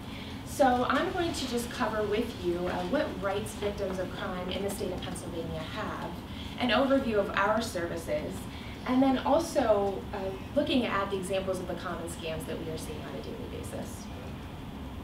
So before I start, I would be remiss not to say that we are able to provide these free and confidential services to all of our seniors uh, through several funding streams. Uh, one of the main ones being the Pennsylvania Commission on Crime and Delinquency. There are two funding streams, RASA, which is Rights and Services Act, which is state funding, and then also the Victims of Crime Act, VOCA, which is federal funding, and also with support from the County of Delaware. So, you heard District Attorney Whelan say that Senior Victim Services has joined in 2015 after the nonprofit organization had dissolved. Uh, while it is a very new entity, uh, we've been able to serve a significant number of victims and help them seek compensation, which we'll talk about in a little bit. Uh, some of the services that we provide are not just for victims of crime, but for individuals that might be a victim of crime in the future. Um, so again, those that are susceptible to any of the telephone calls, telemarketing scams, uh, but also their family members as well. I'll refer to significant others in the presentation, and that means any family, um, not necessarily an intimate relationship, uh, but we are able to work with those individuals too. And one of the most important things that we do is offer our victims a comprehensive plan to provide them with other services that are available throughout Delaware County. We are very fortunate here in Delaware County, uh, as some of the surrounding counties have a blanket victim service organization, uh, which means they serve victims of sexual assault, domestic violence, elderly crimes, all under one agency, typically a nonprofit. Because we have such a significant number of seniors, we're able to have our senior exploitation unit and senior victim services unit. And at the end of the presentation, I have a list of other victim service agencies that we have right here in Delaware County.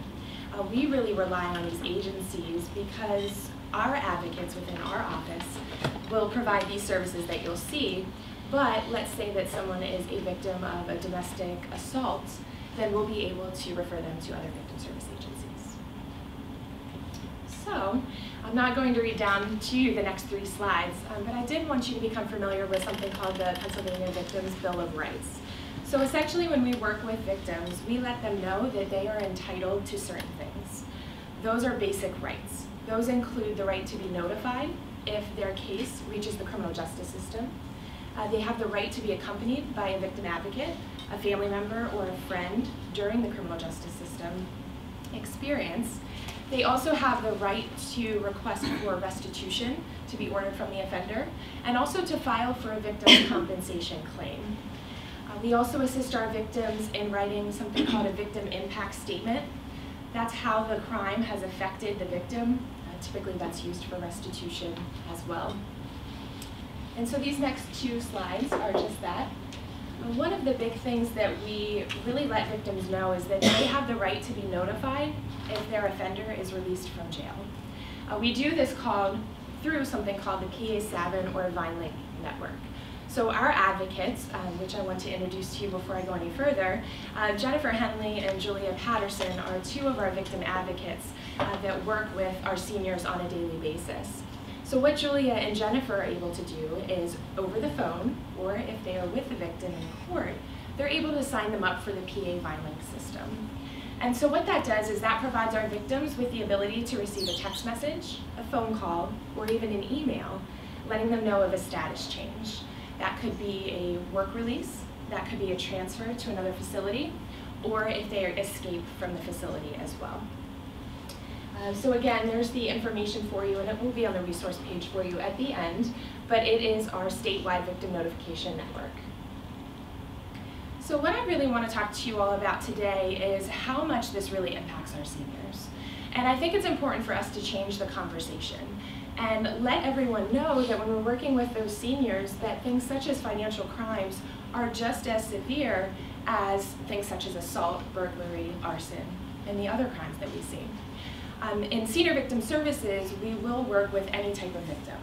We will work with uh, vehicular homicide. Uh, we've had several victims who are victims, uh, survivors of homicide. So let's say that a wife's husband was murdered. We can work with her to seek compensation and really accompany her throughout the criminal justice system. Um, as I said, arson, burglary, identity theft, something called stolen cash, which is essentially theft from the home. So there are a number of services that we will provide. So it's really important because whenever our seniors are victimized, oftentimes we see that they do not have family. They might not have a spouse. And if they do have family, what happens? As you heard Chief Ryan say, it's usually the family member that is stealing from them or is putting them into danger. Uh, harassment. This is really important because we see this when there are telemarketing calls. So I will give you some examples, but if a senior gives money, uh, telephone scam, uh, iTunes gift cards, maybe wires some money, they will continue to receive calls, not just from that person that originally scammed them, but they will provide that victim's information to other people. So we see that once our victims are victimized by one scammer, they receive anywhere from five to 10 calls over the next few days. And it doesn't go away after a week. Uh, we still have victims that we're working with that are receiving calls even three, four, five months following their original victimization. So there's a continued harassment. It's also important to change the conversation because our seniors have a lot of steps to take whenever they are victimized. Um, whenever you talk to a bank or maybe a credit reporting agency, how many of you have called someone and have been put on hold for a very long time? Sure. It's frustrating for all of us, right? Can you imagine how frustrating it is to a senior that has just been victimized, that had all of their money taken, or was physically injured? So it's really important for our advocates to act as that liaison, um, whether it's between the banks or any of the doctor's offices or hospital systems if they were injured, whether it's the liaison between the criminal justice system or even family members. You heard Chief Ryan say that fear, embarrassment, and shame are the top reasons. We see that on a daily basis.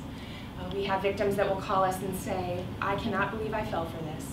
I am so ashamed. And they really will alienate themselves from their families. They will not even tell their families sometimes that they were a victim of a crime. But what the family knows now is there's no money and the senior is struggling.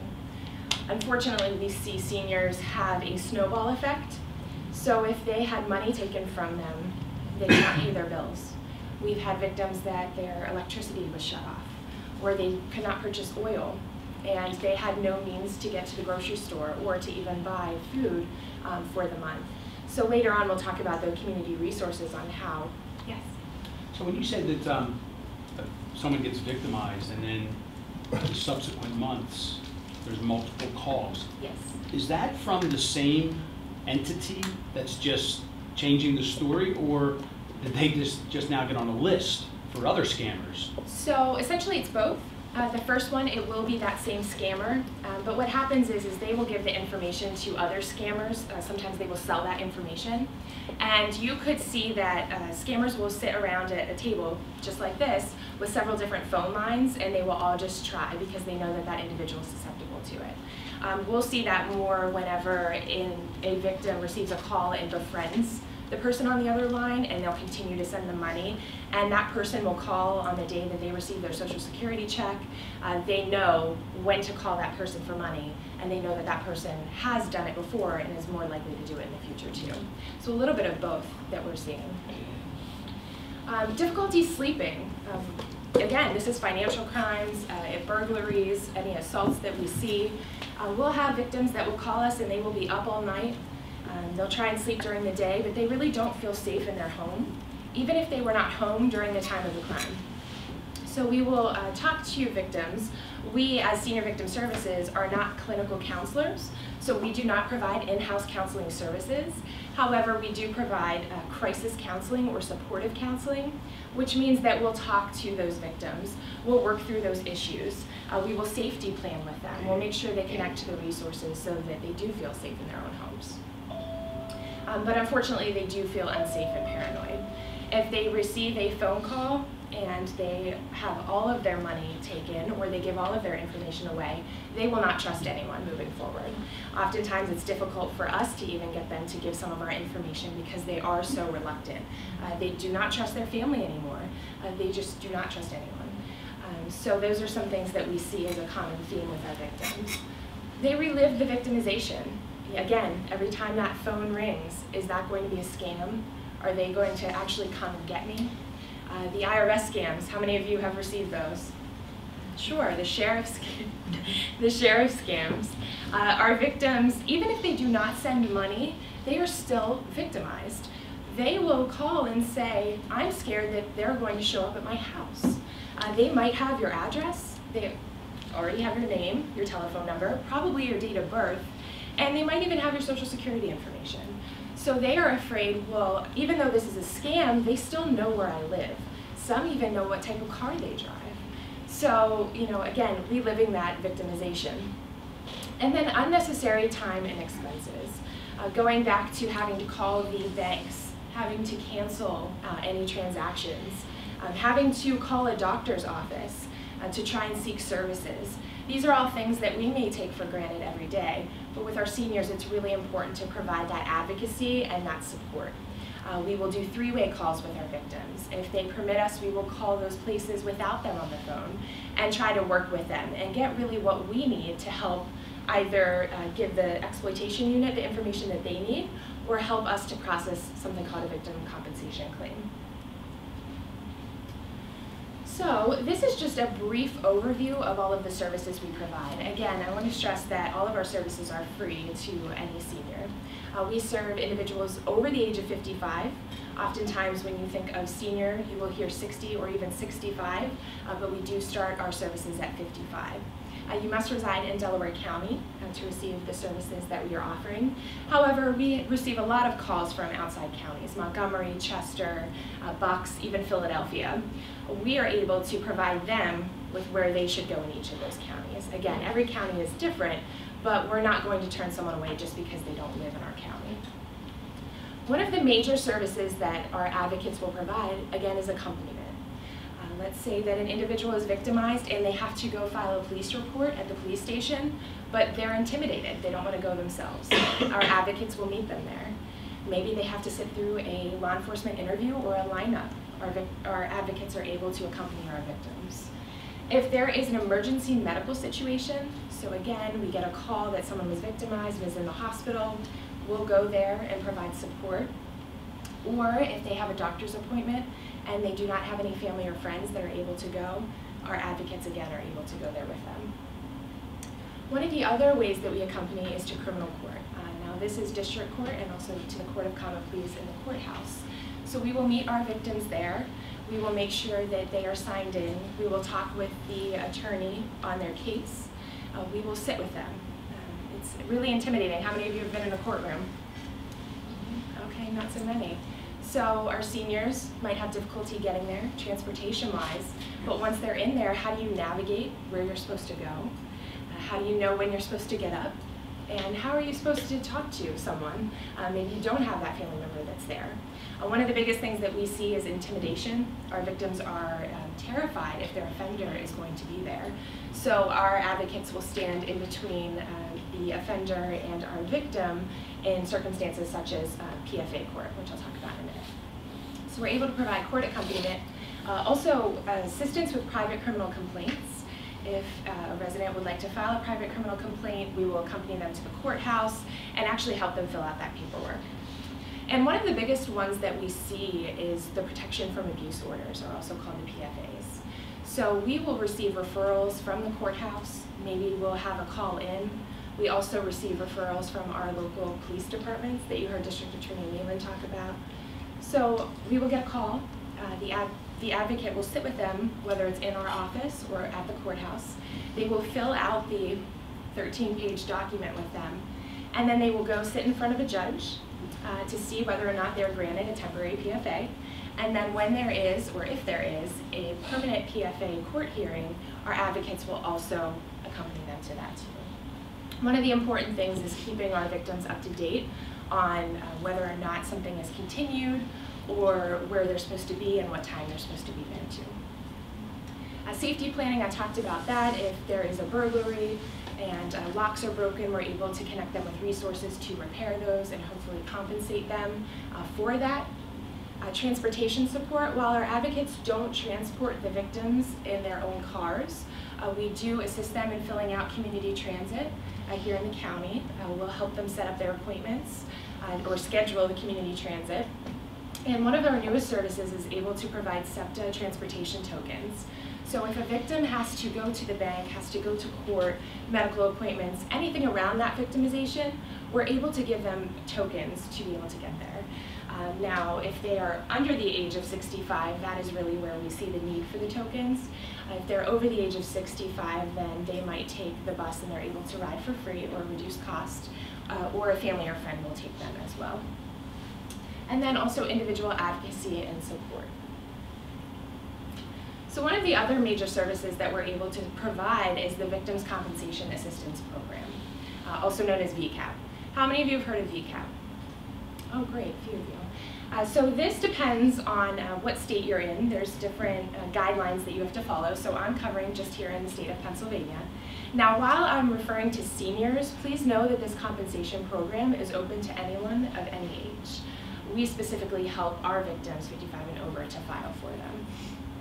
So the Victims Compensation Program uh, is through the Pennsylvania Commission on Crime and Delinquency, and it's actually funded uh, by offender fees. So when an offender or defendant is uh, ordered restitution and also court fees, uh, part of that, usually it's $35, actually goes into this pot of VCAP funding. Uh, so it's not taxpayer dollars that pay our victims through the VCAP program. Uh, it's essentially the fines and penalties uh, from our offenders. So I joined the district attorney's office in September of 2015. Uh, since then, we've had our advocates join. Um, I'm pleased to say that our advocates in the last 11 months have been able to get our victims over $60,000 in just victims' compensation. Uh, that doesn't include restitution too. Um, so there is a need. Unfortunately, a lot of victims do not know that this is an option. If you would take a look at the Victims Compensation Manual, it's about 135 pages. Uh, there's a lot of stipulations, a lot of details. So to give someone that information and say, here, please file a claim, it can be very difficult. Um, so our advocates know the VCAP program inside and out, um, how many expenses, and what exactly they're eligible for. So I'll go a little bit more into VCAP in a few slides for you. Again, restitution, uh, making sure that the, if there is restitution that's ordered, uh, not only assisting them with writing their statements, uh, but ensuring that those payments are coming through. Um, unfortunately, restitution can take a very long time, uh, especially if the offender is incarcerated. So the VCAP program provides those victims with a uh, more timely amount of money um, instead of waiting for restitution.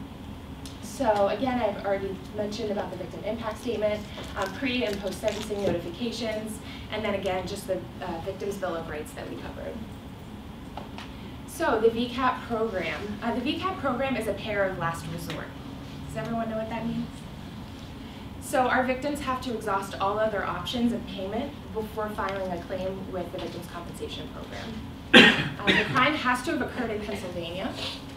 Now, if you live in Delaware County, but you were victimized in Philadelphia, we can still assist you in filing those victims' compensation claims. Uh, you must file a police report. Uh, this is really important. When we go out and talk to our seniors, we let them know. Uh, we talk to them, we understand that there's that fear, embarrassment, and shame. But in order to seek any compensation, whether it's now or two years from now, or within two years, there must be a police report or they're not eligible. So sometimes what happens is the victim will be victimized, call into our office, and say, I'm not filing a police report. And we say that's okay. Um, we encourage you to, but we understand where you're coming from. What do you think happens after three, four conversations with that person? They usually file, and we'll usually let the police department know they're coming or go with them if they feel comfortable. Uh, so it's really important that you file. Um, furthermore, you have to file within 72 hours of the crime. And there are uh, different ways around this. Uh, let's say that if someone was victimized in September, but they didn't discover it until October or November, that's okay. Uh, what they will do is they'll sit with a victim advocate, write a brief statement that we will send over to the program. Uh, the claim also has to be filed within two years. Uh, so we've been doing presentations and we've had victims that are sitting in the audience and say, this happened to me a year and a half ago and I had no idea. I didn't know this was available. I didn't know these services were here. And so we'll actually start working with that victim and a year and a half later we'll file the claim. As long as it's filed within two years, they're still eligible for compensation. Uh, they must cooperate with authorities. Uh, typically this isn't an issue, but sometimes with our seniors, uh, if there are family members that are involved that are, have a um, ear on the senior and they'll talk to them, uh, sometimes they choose uh, not to cooperate. And unfortunately, that deems them ineligible for the Victims Compensation Program. There also must be no illegal activity. Um, I'll give you an example. If a victim was involved um, or in the process of a robbery um, but was never convicted, the police report will still indicate that and the VCAP program will not grant. Um, so again, it's not us that makes the decision, uh, it's ultimately the Pennsylvania Commission on Crime And each victim over their life uh, is eligible for up to $35,000 through the VCAP program. And on the next slide, you'll see what exactly is covered. Uh, this does not include counseling expenses. So I said we do not provide in-house counseling services. However, we always encourage our victims to seek counseling services. If they do, that's an additional up to 5,000 or even $6,000 outside of the $35,000.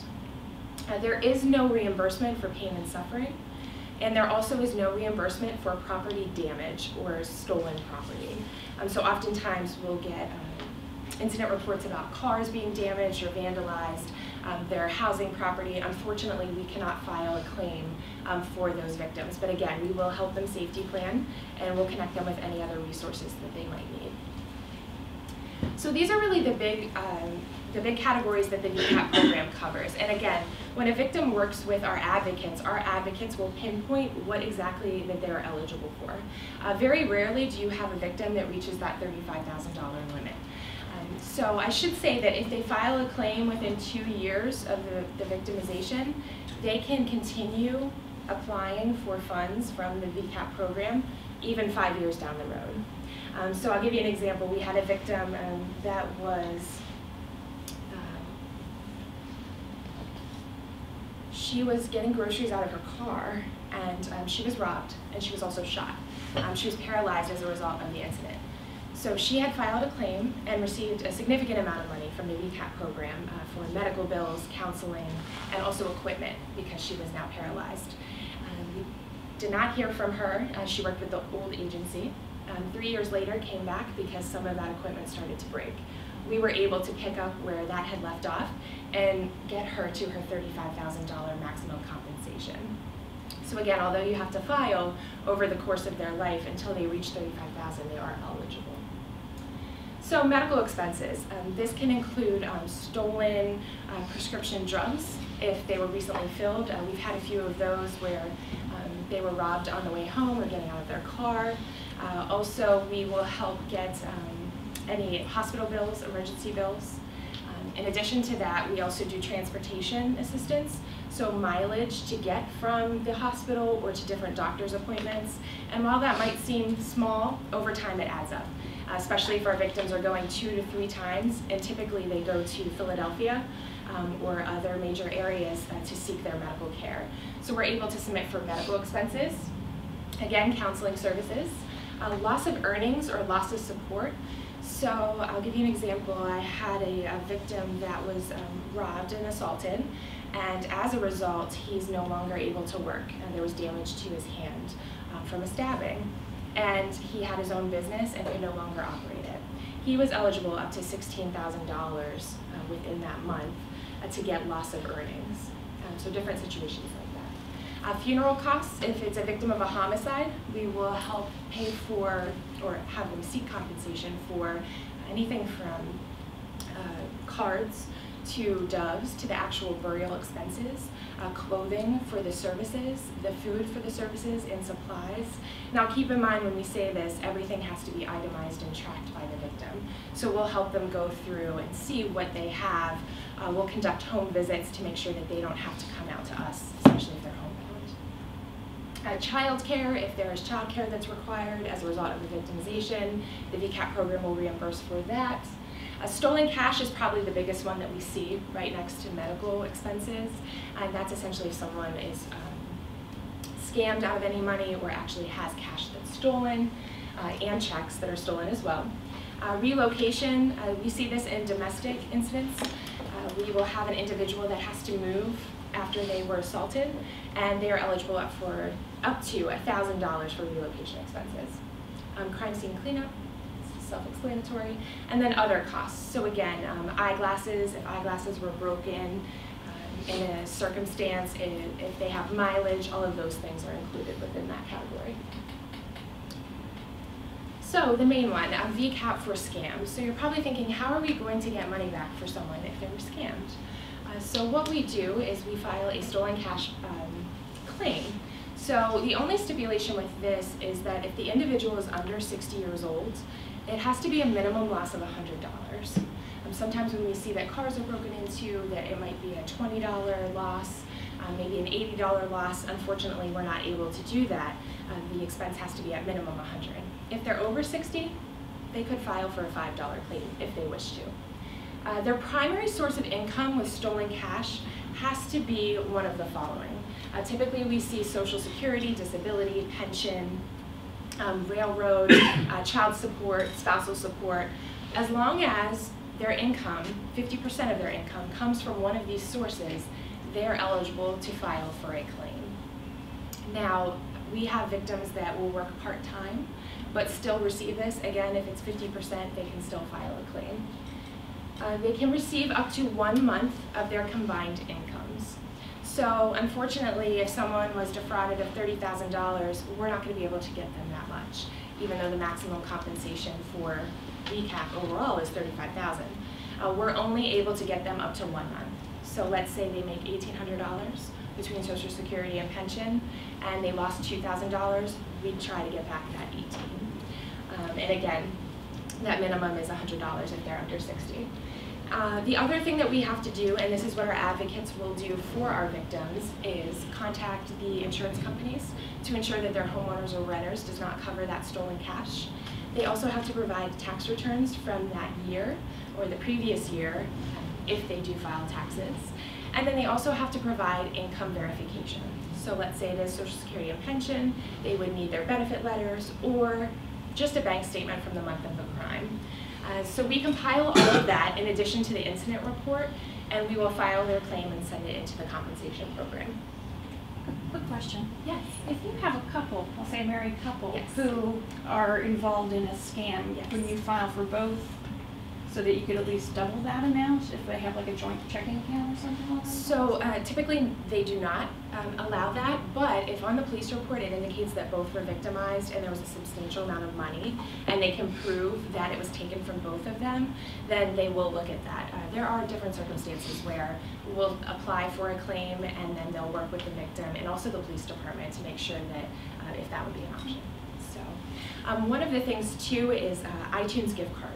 So I asked how many of you were scam or received scam, scam calls um, from the IRS or the sheriff's departments. Uh, one of the biggest ones that we're seeing is iTunes gift cards, and they want you to read the numbers. We've had victims give anywhere from 2,000 to $10,000 total in iTunes gift cards. They will read the numbers off the back. Um, typically, that would be considered property, but because there's such, such a substantial amount of victims that are being scammed this way, the VCAP program is actually start to look at that um, to get some of that reimbursement. Uh, as long as they can prove that they went out, bought the iTunes gift cards, and then immediately sent it over, uh, whether it's a wire transfer or over the phone, and they have those receipts, uh, those are potentially eligible for compensation too. Could you explain that? I'm sorry? Could you explain the iTunes scam? Sure, and actually, I'm going to give you an example in a minute here, so we'll talk about that. Um, one thing I wanted to bring up, uh, two things actually, with fraud alert and also do not call list. Um, so some victims that we talk to are very, very frustrated because they receive these phone calls all of the time. And they say, why can't you do anything about them? Why can't they stop? And we understand that frustration. Um, so we always suggest to sign up individuals for the do not call list. However, the do not call list does not prevent scams. Um, the do not call list focuses on telemarketing sales, and sometimes there are illegal robocalls around the do not call list as well. So even if you're on the do not call list, there is a chance that you're still going to receive those scam calls. However, this is one way that we can help to get uh, individuals' numbers off of those lists um, to kind of help deter those. Um, so there's some information for you. Um, now this does not, once you sign up for it, we can do it online, we can do it for you over the phone, um, but they do not take your number off unless it's reassigned or deactivated. Uh, your number will stay on there as long as you'd like. And obviously you have a choice to remove it for you too. And this is just the information for the fraud alert that Chief Ryan had talked about with Experian, TransUnion, and Equifax, uh, both their number and also the website for you. Uh, you're able to place a free 90-day alert, as I'm sure many of you know, uh, for your credit report. Uh, there's also something called an extended credit report, which lasts for up to seven years. Uh, we'll assist the victims in compiling any letters to the credit agencies. We'll also gather the incident report and send that all over to them. If they do place a seven-year extended uh, fraud alert, they do require that police report too. So again, just making sure we're advocates for our victims. So um, how to recover the FTC, or if you visit ftc.gov, they provide a lot of great information. Again, we'll help our victims connect with these resources. It's really important to file a local police department, uh, but you can also file an FTC consumer complaint uh, right online. We know that a lot of our seniors do not have access to the internet or do not have a computer, so again, those are services we're able to do for them. Um, they really want to make sure that they remove bogus charges, uh, making sure that they're checking their credit reports on a regular basis. And when Chief Ryan was talking about the accounts in Macy's, we actually had a victim that didn't even know um, that she was a victim of identity theft years later. She looked at her credit report, said, I check it every month. I'm great. And then she said, well, when I was going down through it, after we talked, she had two Macy's accounts, accounts on there. Um, and she said, you know, I didn't even think anything of it because I have a Macy's account. But here, they were two different accounts. Uh, so, so, someone had opened it in her name and she didn't even, she didn't even know. Um, so making sure that you're removing that, making sure that you're alerting not just uh, the credit reporting agencies, but also the banks as well. So um, I just want to go over a few of the cases. Again, we see a lot in regards to uh, assault and domestic violence issues as well, but some of the main ones are coming from um, telemarketing and also online. Uh, so this is one of the ones that just came just came through our office not too long ago. With the holidays, make sure you're keeping an eye out for these or let your loved ones know. So the secret shopper. How many of you know what a secret shopper is? Someone that is paid to go out and provide information to a company. A legitimate thing, right? Except for now they're using it as a scam. So we will have scammers that will, will send an email to our victims, or they'll call and say, you're a secret shopper, here's all of your information. So they are actually sent a check, and I don't know if anyone has ever seen the checks that are coming through from our scammers, but they are really good. They come on the Wells Fargo letterhead, the PNC letterhead, and really, unless you see a typo or you're looking closely at it, sometimes it's difficult to see that it might just be a scam. Has the watermark and everything. Uh, and it's not until a few days later when the bank calls and says they were bad checks that our victim actually knows that they have been a victim. So they are sent a check and told to deposit that check. And they do just that. They'll deposit the check. They will say, send us $1,000. You keep 500 and then when you complete your task, we're going to send you more. So what happens is they cash that check, they take out that money, and then they collect the information they're supposed to. Um, this victim was supposed to go to a Walmart and send money from a Walmart to another Walmart, uh, measure their hospitality or their customer service, and then also say how long they waited in line. Provided them with a sheet and everything, turned it in, sent the money they were supposed to, found out two days later when he was sent another check that they were bad checks. So not only did he not have that money, but now his bank account was negative um, because the bank was holding him accountable for that money as well. Unfortunately, we see that with a lot of our victims too. Uh, so that is the secret shopper scam. Uh, really keep an eye out for that. Um, with the iTunes gift cards, uh, we had a victim that was sent a check and then he was told to go purchase some iTunes gift cards, read over, you know, the, um, the numbers on the back of the card. And he said to me after, he said, you know, I thought I won. It's been a rough few years. I thought that I finally, my luck turned around. Couldn't really remember if I entered anything, um, but it seemed legitimate. And then he was negative in his bank account as well. And it took him six months to even try to keep his head above um, in terms of the financial loss that he had. And then afterwards, he still had that residual feeling of, am I being scammed? Who can I trust? And he didn't have any family members. Um, so we are seeing it uh, very, very often. You heard Chief Ryan talk about the grandparent scam. Uh, again, we see this pretty often. Uh, a lot of family members will say to us, well, how did you fall for that? How did you fall for that? You know what your grandchildren sound like. Well, we've heard everything from I ran into the back of a car and the airbag hit my nose and I'm congested. Or they'll call and, and be screaming, I'm in trouble, I'm hurt. And of course, when you all receive a call from your family that's urgent, immediately we're on alert, right? Well, we're not sure. We don't take time to say, okay, let me check and make sure that person's actually okay. It's not until after that happens that our seniors realize, well, maybe I should call their mom or their dad or their aunt and make sure that it is them. And what do you think happens when they do? It wasn't them. They didn't even know that they were on vacation or that they were out of town. Um, so the grandparent scam is, we're seeing more and more of these over the last um, few months and now moving into the holiday season as well. Uh, so just make sure that you're keeping an eye out for that and make sure, as Chief Ryan said, that they are asking information that only that person would know. The online dating scam, how many of you have heard of this one? So before, this wasn't as big of an issue with our seniors as it would be with anyone else, right?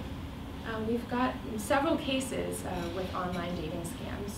Uh, using sites like Match.com, uh, OkCupid, uh, sites that everyone else uses. And why are our seniors going on there? Friendship, maybe a romantic relationship, absolutely. The same reasons that everyone else does. Um, unfortunately, what happens is the scammers on the other side of the computer are not who they say they are. And they will really target our seniors uh, because our seniors, they're not lying on their profiles. They're putting their names, maybe their location, they're putting their ages. Uh, so we have scammers that are going specifically for them. Uh, so far as to befriending them for six, seven, eight months, and then forming a, a romantic relationship uh, online, even telephone calls with them, and promising to come visit them if they don't live in the area. Well, then one day, they get a phone call and something's wrong. Uh, we've had scammers say that they have cancer. We've had scammers say that their uh, grandchild or their son or daughter uh, was in the hospital and they needed money. They promised to pay it back. I can't wait to see you in a month. I'm flying to visit you. And what happens? Our seniors are generous. And again, they're vulnerable and they have really formed a connection with this person, whether it is a friendship or a romantic connection. So they're sending money and then that person deactivates all of their accounts uh, blocks any numbers, does not have a valid email address, and then our victims are left um, with no ability to track that person or that money as well. Um, so that individual would be eligible for the VCAP program uh, as long as they meet all the requirements as well. And um, one of the other popular ones that we see is the You've Won scam, so the lottery scams, um, probably one of the most popular. The iTunes gift cards are what we see with the You've Won scam. So you're getting a letter in the mail, again, same circumstance, you're receiving a check. Please deposit this check and send the tax money over, and then we're going to send you the rest of the money. Again, our seniors might enter into contests. They oftentimes give to charities, so it wouldn't be abnormal to receive something that they won. Before you were, you were seeing that uh, you've won $30,000 or you've won a million. Well, now we're starting to see you've won $3,000 it's a little more believable, right? Once they send that money, again, difficult to track, um, oftentimes not able to come back, and the bank is not liable uh, to give our victims that money. So we always say, if it's too good to be true, it is, um, especially with the You've Won scams. So, in addition to working directly with our victims, we want to make sure that they do receive all of the services that they're entitled to. Uh, within our community, these are just a few of several, uh, but these are ones that we receive referrals from or give ref referrals to. Uh, Court Financial Services, uh, we work with them very closely in regards to restitution for our victims. Uh, Delaware County Office of Services for the Aging, which Chief Ryan had mentioned earlier. Um, COSA is really wonderful. They act as our area um, on aging. They provide uh, protective services, services. They also provide um, something called the Ombudsman Program, which will go into nursing home or facilities and really be an advocate within that area for those victims. Uh, they also provide a, a program called Gateway um, that evaluates mental health services. Uh, they will do in-home assessments, both through protective services, but also, let's say I'm working with a victim and they're not in any danger, but they could use some light housekeeping, um, maybe someone to be in the home two, three days a week. So we'll make a referral to COSA, get all of their information, because it is a lengthy process. Uh, so sometimes they tell our seniors to make that call or to send in a sheet. Oftentimes we find that they do not do that. Um, so making sure that we are calling them, reminding them, and actually doing that for them. Uh, when that happens, COSA will send someone out to do an evaluation and determine which of the many programs that they offer that that victim's eligible for. I know earlier a question was uh, whether or not money uh, was an issue with services. Um, again, no. With most of COSAs, uh, there are some financial uh, sliding scales that they'll use for things like in-home care. Um, but again, that's something that the assessor will determine when they go and visit um, the victim's home or the consumer's home. Uh, Delaware County Women Against Rape and also the Domestic Abuse Project of Delaware County are two agencies that we work very closely with. Uh, let's say there was an assault with one of our seniors, uh, maybe it was their husband or their wife, and we will work with them, but we'll also refer them to DEC to make sure that they receive all of those services, uh, such as counseling. Uh, family support line, uh, we will receive referrals or make referrals to uh, if there are children that are involved in the situation uh, Mothers Against Drunk Driving, and also parents of murdered children. Uh, again, we work with survivors of homicide, which is where those agencies would come into play. And then just the General Victim uh, Witness Assistance Unit that's within the Delaware County uh, office. So just some additional community resources. As I said, when a victim uh, is scammed out of money, they're unable to pay their bills, there might be other circumstances that arise, our advocates are able to connect them with those services. Uh, community transit, uh, the LIHEAP program, which is Low Income Housing and Energy Assistance Program, uh, home weatherization, which leads into Community Action Agency of Delaware County. Um, we'll work with the Center for the Blind and the Visually Impaired, uh, which is housed in Chester. Uh, the County Assistance and Department of Public Welfare, uh, Legal Aid of Southeastern Pennsylvania, uh, and also the Crisis Connection teams. Um, oftentimes we'll receive a victim that uh, in addition to needing a referral to COSA and um, going through the court system and working with our advocates, that there might be a need uh, or a circumstance where they have a crisis, uh, whether we're on the phone with them or they're at their house as well. So we'll refer to our county's uh, Crisis Connections team. So just to really wrap up everything, um, some tips that we always say. Again, I can't stress enough making sure that you're reporting it um, to the local police department. Um, but calling our office, that's our number there. The table outside is full of resources and giveaways. Please take that. Um, pass that on to anyone that you would know. You can always visit the Delaware County District Attorney's Office um, homepage. Uh, you really need to be supportive and understanding. Um, we will be that buffer again with families with victims that have been victimized and their families just can't understand. Um, it's important that we do understand. We understand that it might take them um, a little longer to get over their victimization um, because it's not something that's just one and done, especially with our financial crimes. Um, oftentimes, our victims might be uh, widowers and um, might have some depression, and then on top of that, they're victimized. Um, a lot of different issues to look into connect them with available resources, help them to recover. Um, don't just tell them you need to do this, but actually assist them during that process. Um, give them someone to talk to, have them call us, uh, you know, have them talk to our advocates.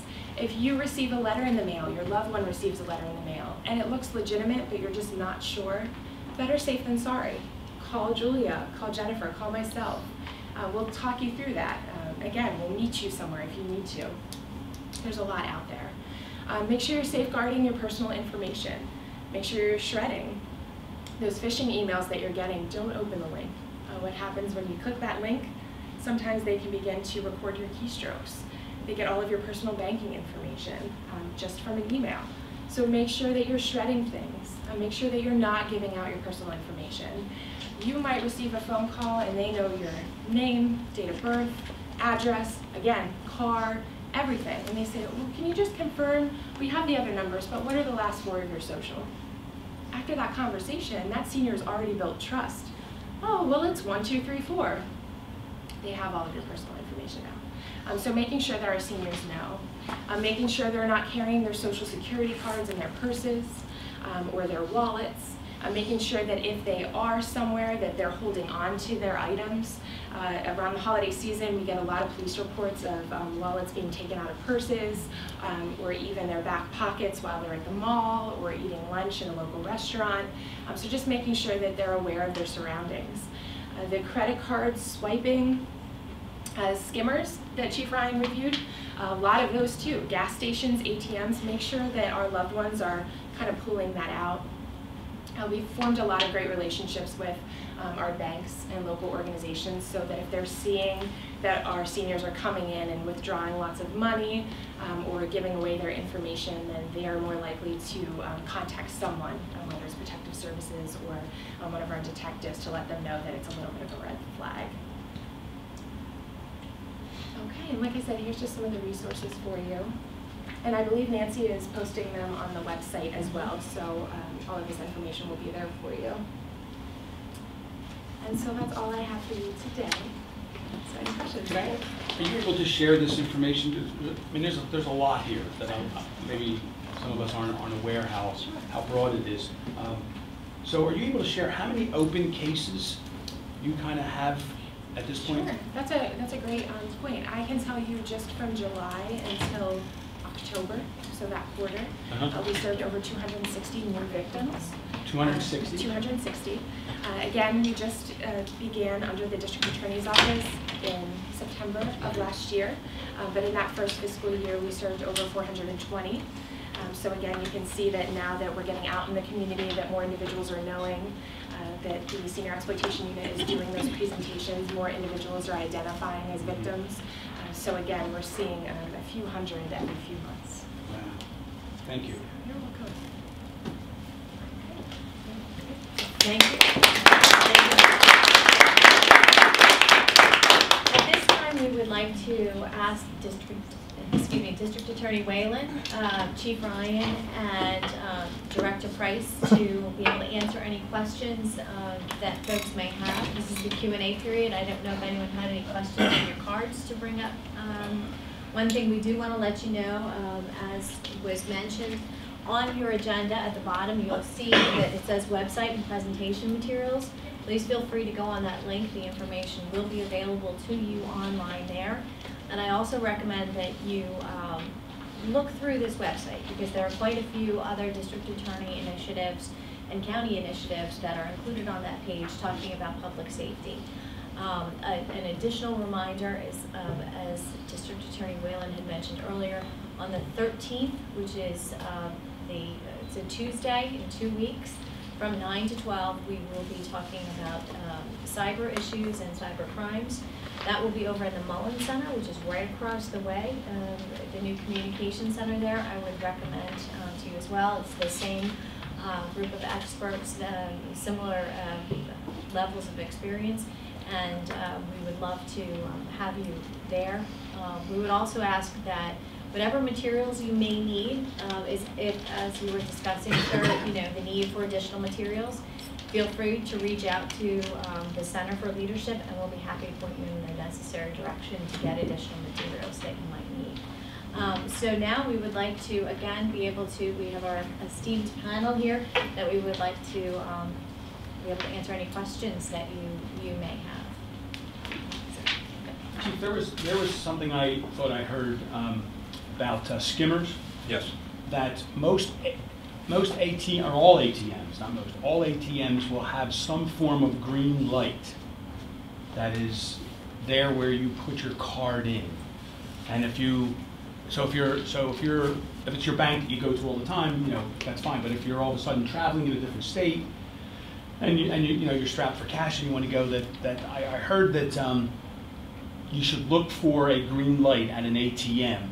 And if there is no green light, that's usually a bit of a red flag that there potentially could be a skimming device on top of it. I'm not Sound familiar with that, but I'll defer to Tony or uh, Bill.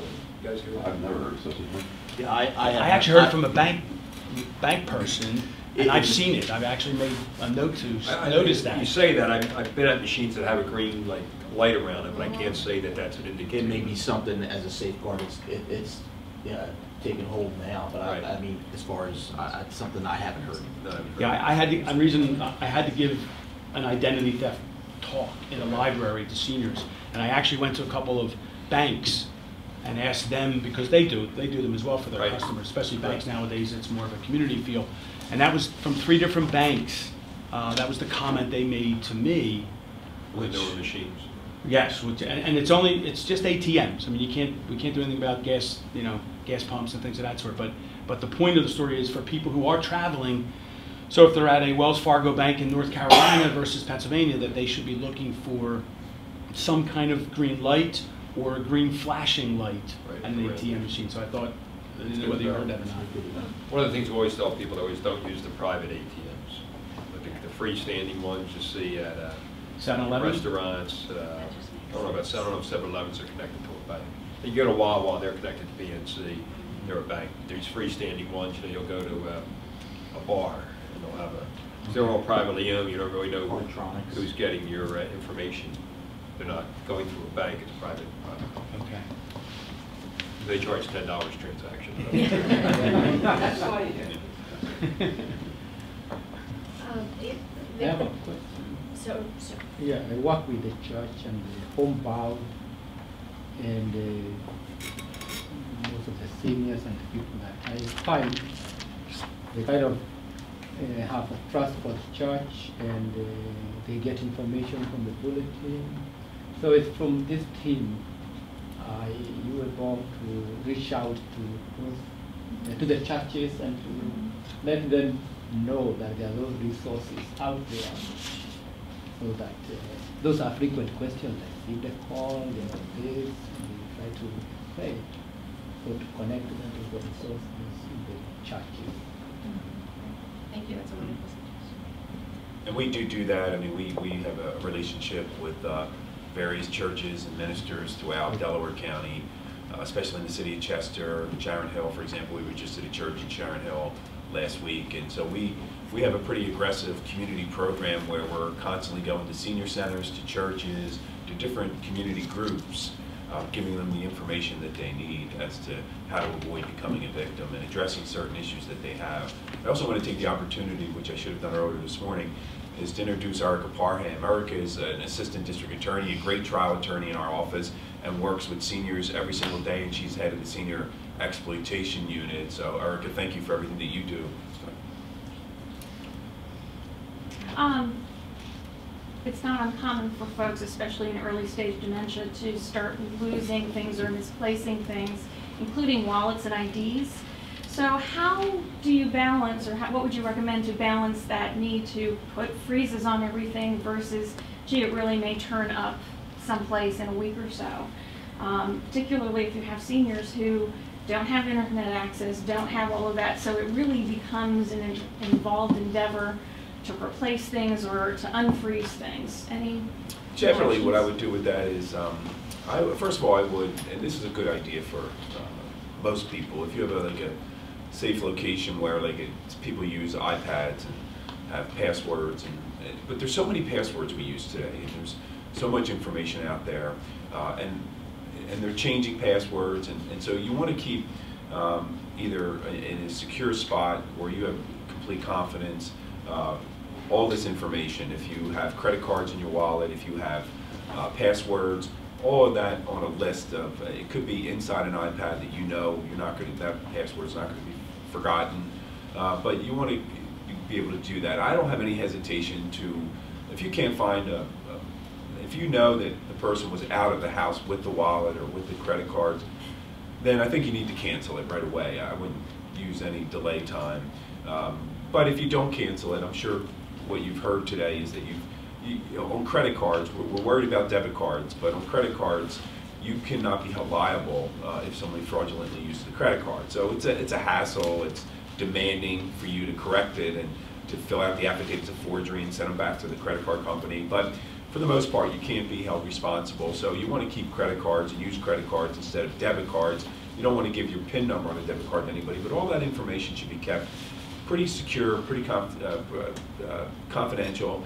And then if you do lose, listen, if you lose your debit card, you lose your credit card, you can go back, find the credit card number, the number of the company the, next to it. You should have your credit card name, the number of the credit card, the phone number to call to cancel it, so that a lot of times you lose your credit card, well, the number to call is on the back of the credit card. So you want to make sure you have that in a separate location so you can go ahead and do that. And they usually will give you a credit card within pretty fast, especially if you use it. They, they want you to have that credit card, so they're going to get it to you pretty fast. And if not, you can actually pay for it to be overnighted to you if you wanted to have that credit card overnight. So I I would be cautious on that, and, and uh, um, you know, people that don't have dementia lose things all the time, and so, you know, so it happens. And they blame on dementia. So a question I think is similar to what you were mentioning about the loss of a, a car. What, what do you do when you are, when you do have a family member, you know someone that's a victim? What, what's the first step that you can take?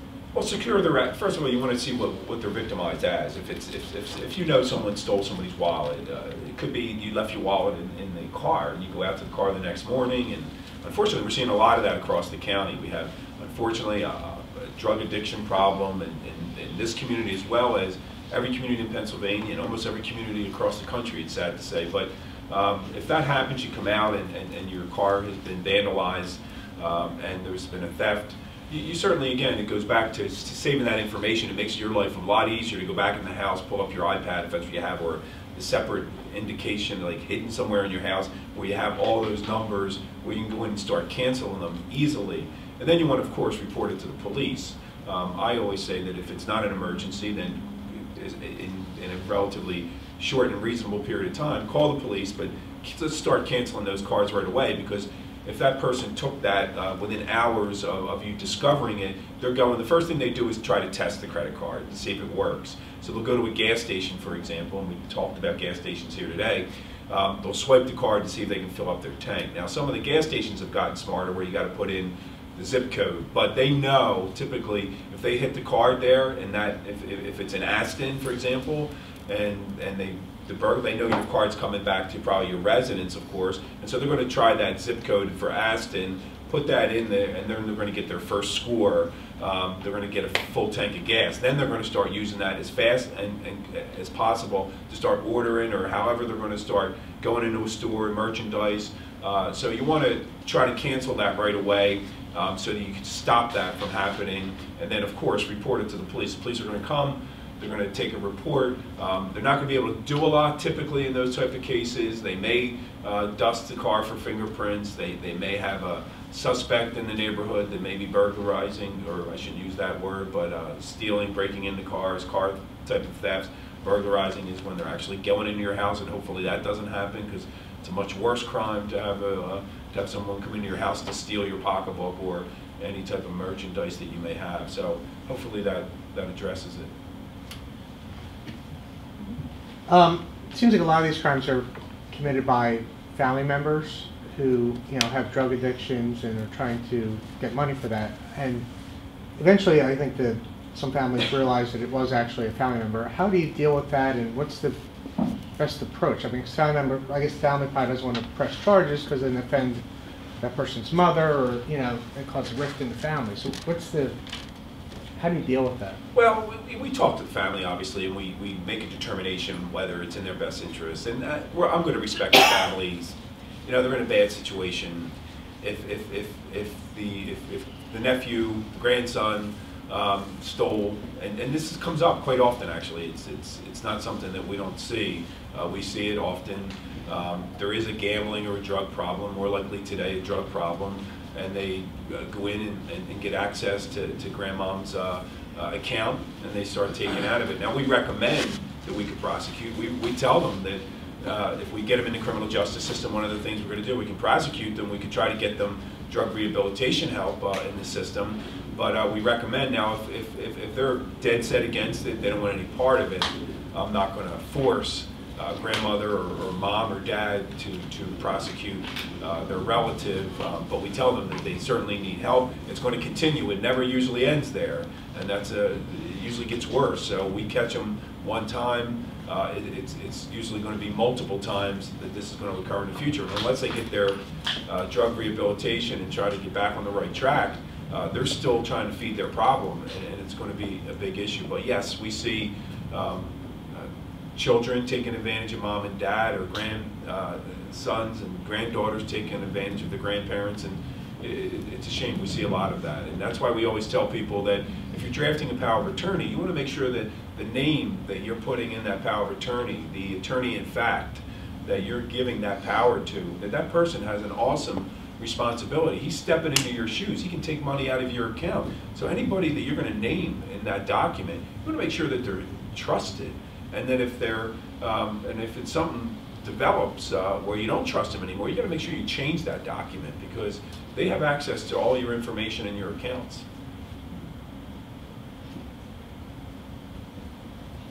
Uh, it seems like a lot of the crimes are related to people, maybe they'll, they'll come to the door, and I just wonder about guidelines in terms of whether people should open the door, never open the door, if you're suspicious, do you report something? Because sometimes it's not somebody that's trying to scam you or. Well, I would always, like, first of all, if they come to your door, most municipalities, and I think like here in Aston, for example, you're supposed to register with the township if you're going door to door. Now, with that said, there's some, you know, First Amendment issues and all that with the ability to go and, you know, knock and walk around the neighborhood and all of that. putting all that aside, they usually want you, they don't usually charge a fee for it, but they want you to register, and they call it like a solicitation ordinance that the township has. Because people are going door to door sometimes, and for energy companies, we've seen it. Um, sometimes you have your religious groups going door to door, the Jehovah Witnesses type of thing. But you also have your unscrupulous people that are going to go door to door, and they're going to look in. They're going to they're going to be seeing who's the occupants of the residence, whether it's an elderly couple. We're concerned about that. If you believe if anything becomes suspicious to you, it goes back to that adage where they uh, see something, say something, that type of uh, uh, motto, and you want to make sure that, that you're, you are reporting suspicious activity. Uh, and the police will make note of it. Usually the, the patrol units will then uh, check the area to see if that person's going door to door. But I think, yes, I think that there's individuals that will knock on a door and with some ruse, typically like we're, um, you know, we're, we're, we're going door to door, we're taking a survey, or they'll come up with something and they'll interact with you, but really what they're doing is that, that old, um, uh, I guess it's the, the, the word casing. Uh, they're casing really your property and your house and seeing who's there and, and if they really want to um, go in and be victimized. Now, it's very dangerous, and we take that very serious because that's into robbery and burglary, and they're all felony one crimes. And when we do arrest people for doing that, uh, they go to jail for a long time because there's, you know, there's only there's certain crimes that are, you know, beyond serious. And you got murder, of course, and rape is their number one and number two. And then robbery and burglary are right in there uh, after that because your home is like your castle. You don't want to be victimized in your home. You don't want to be victimized on your property, and it's it, it, we take it serious. So when that does happen, there's serious ramifications how do you handle crimes? We are so close to, you know, different states, New Jersey, Delaware.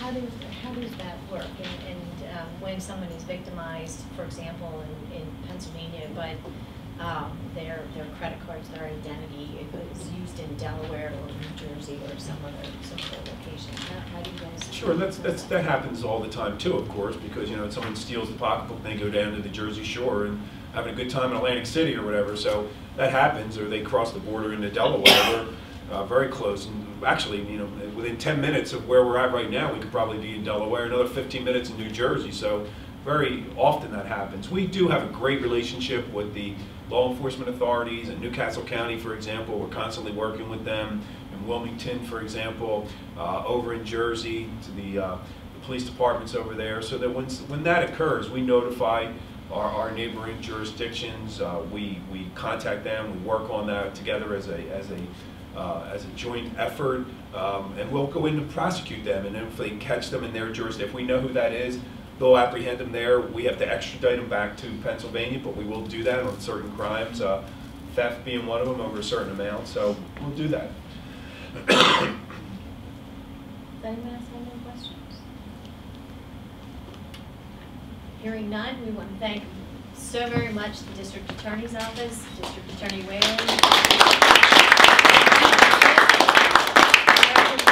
Thank you very much for your time today, and uh, please make sure that if you are seeking CLE credits, that you provide me with the, uh, with the sheet. Feel free to put them on the table on the way out, or you can just leave them on the tables today. Thanks so much and have a great day, everyone. Thank you. Thanks, Jim.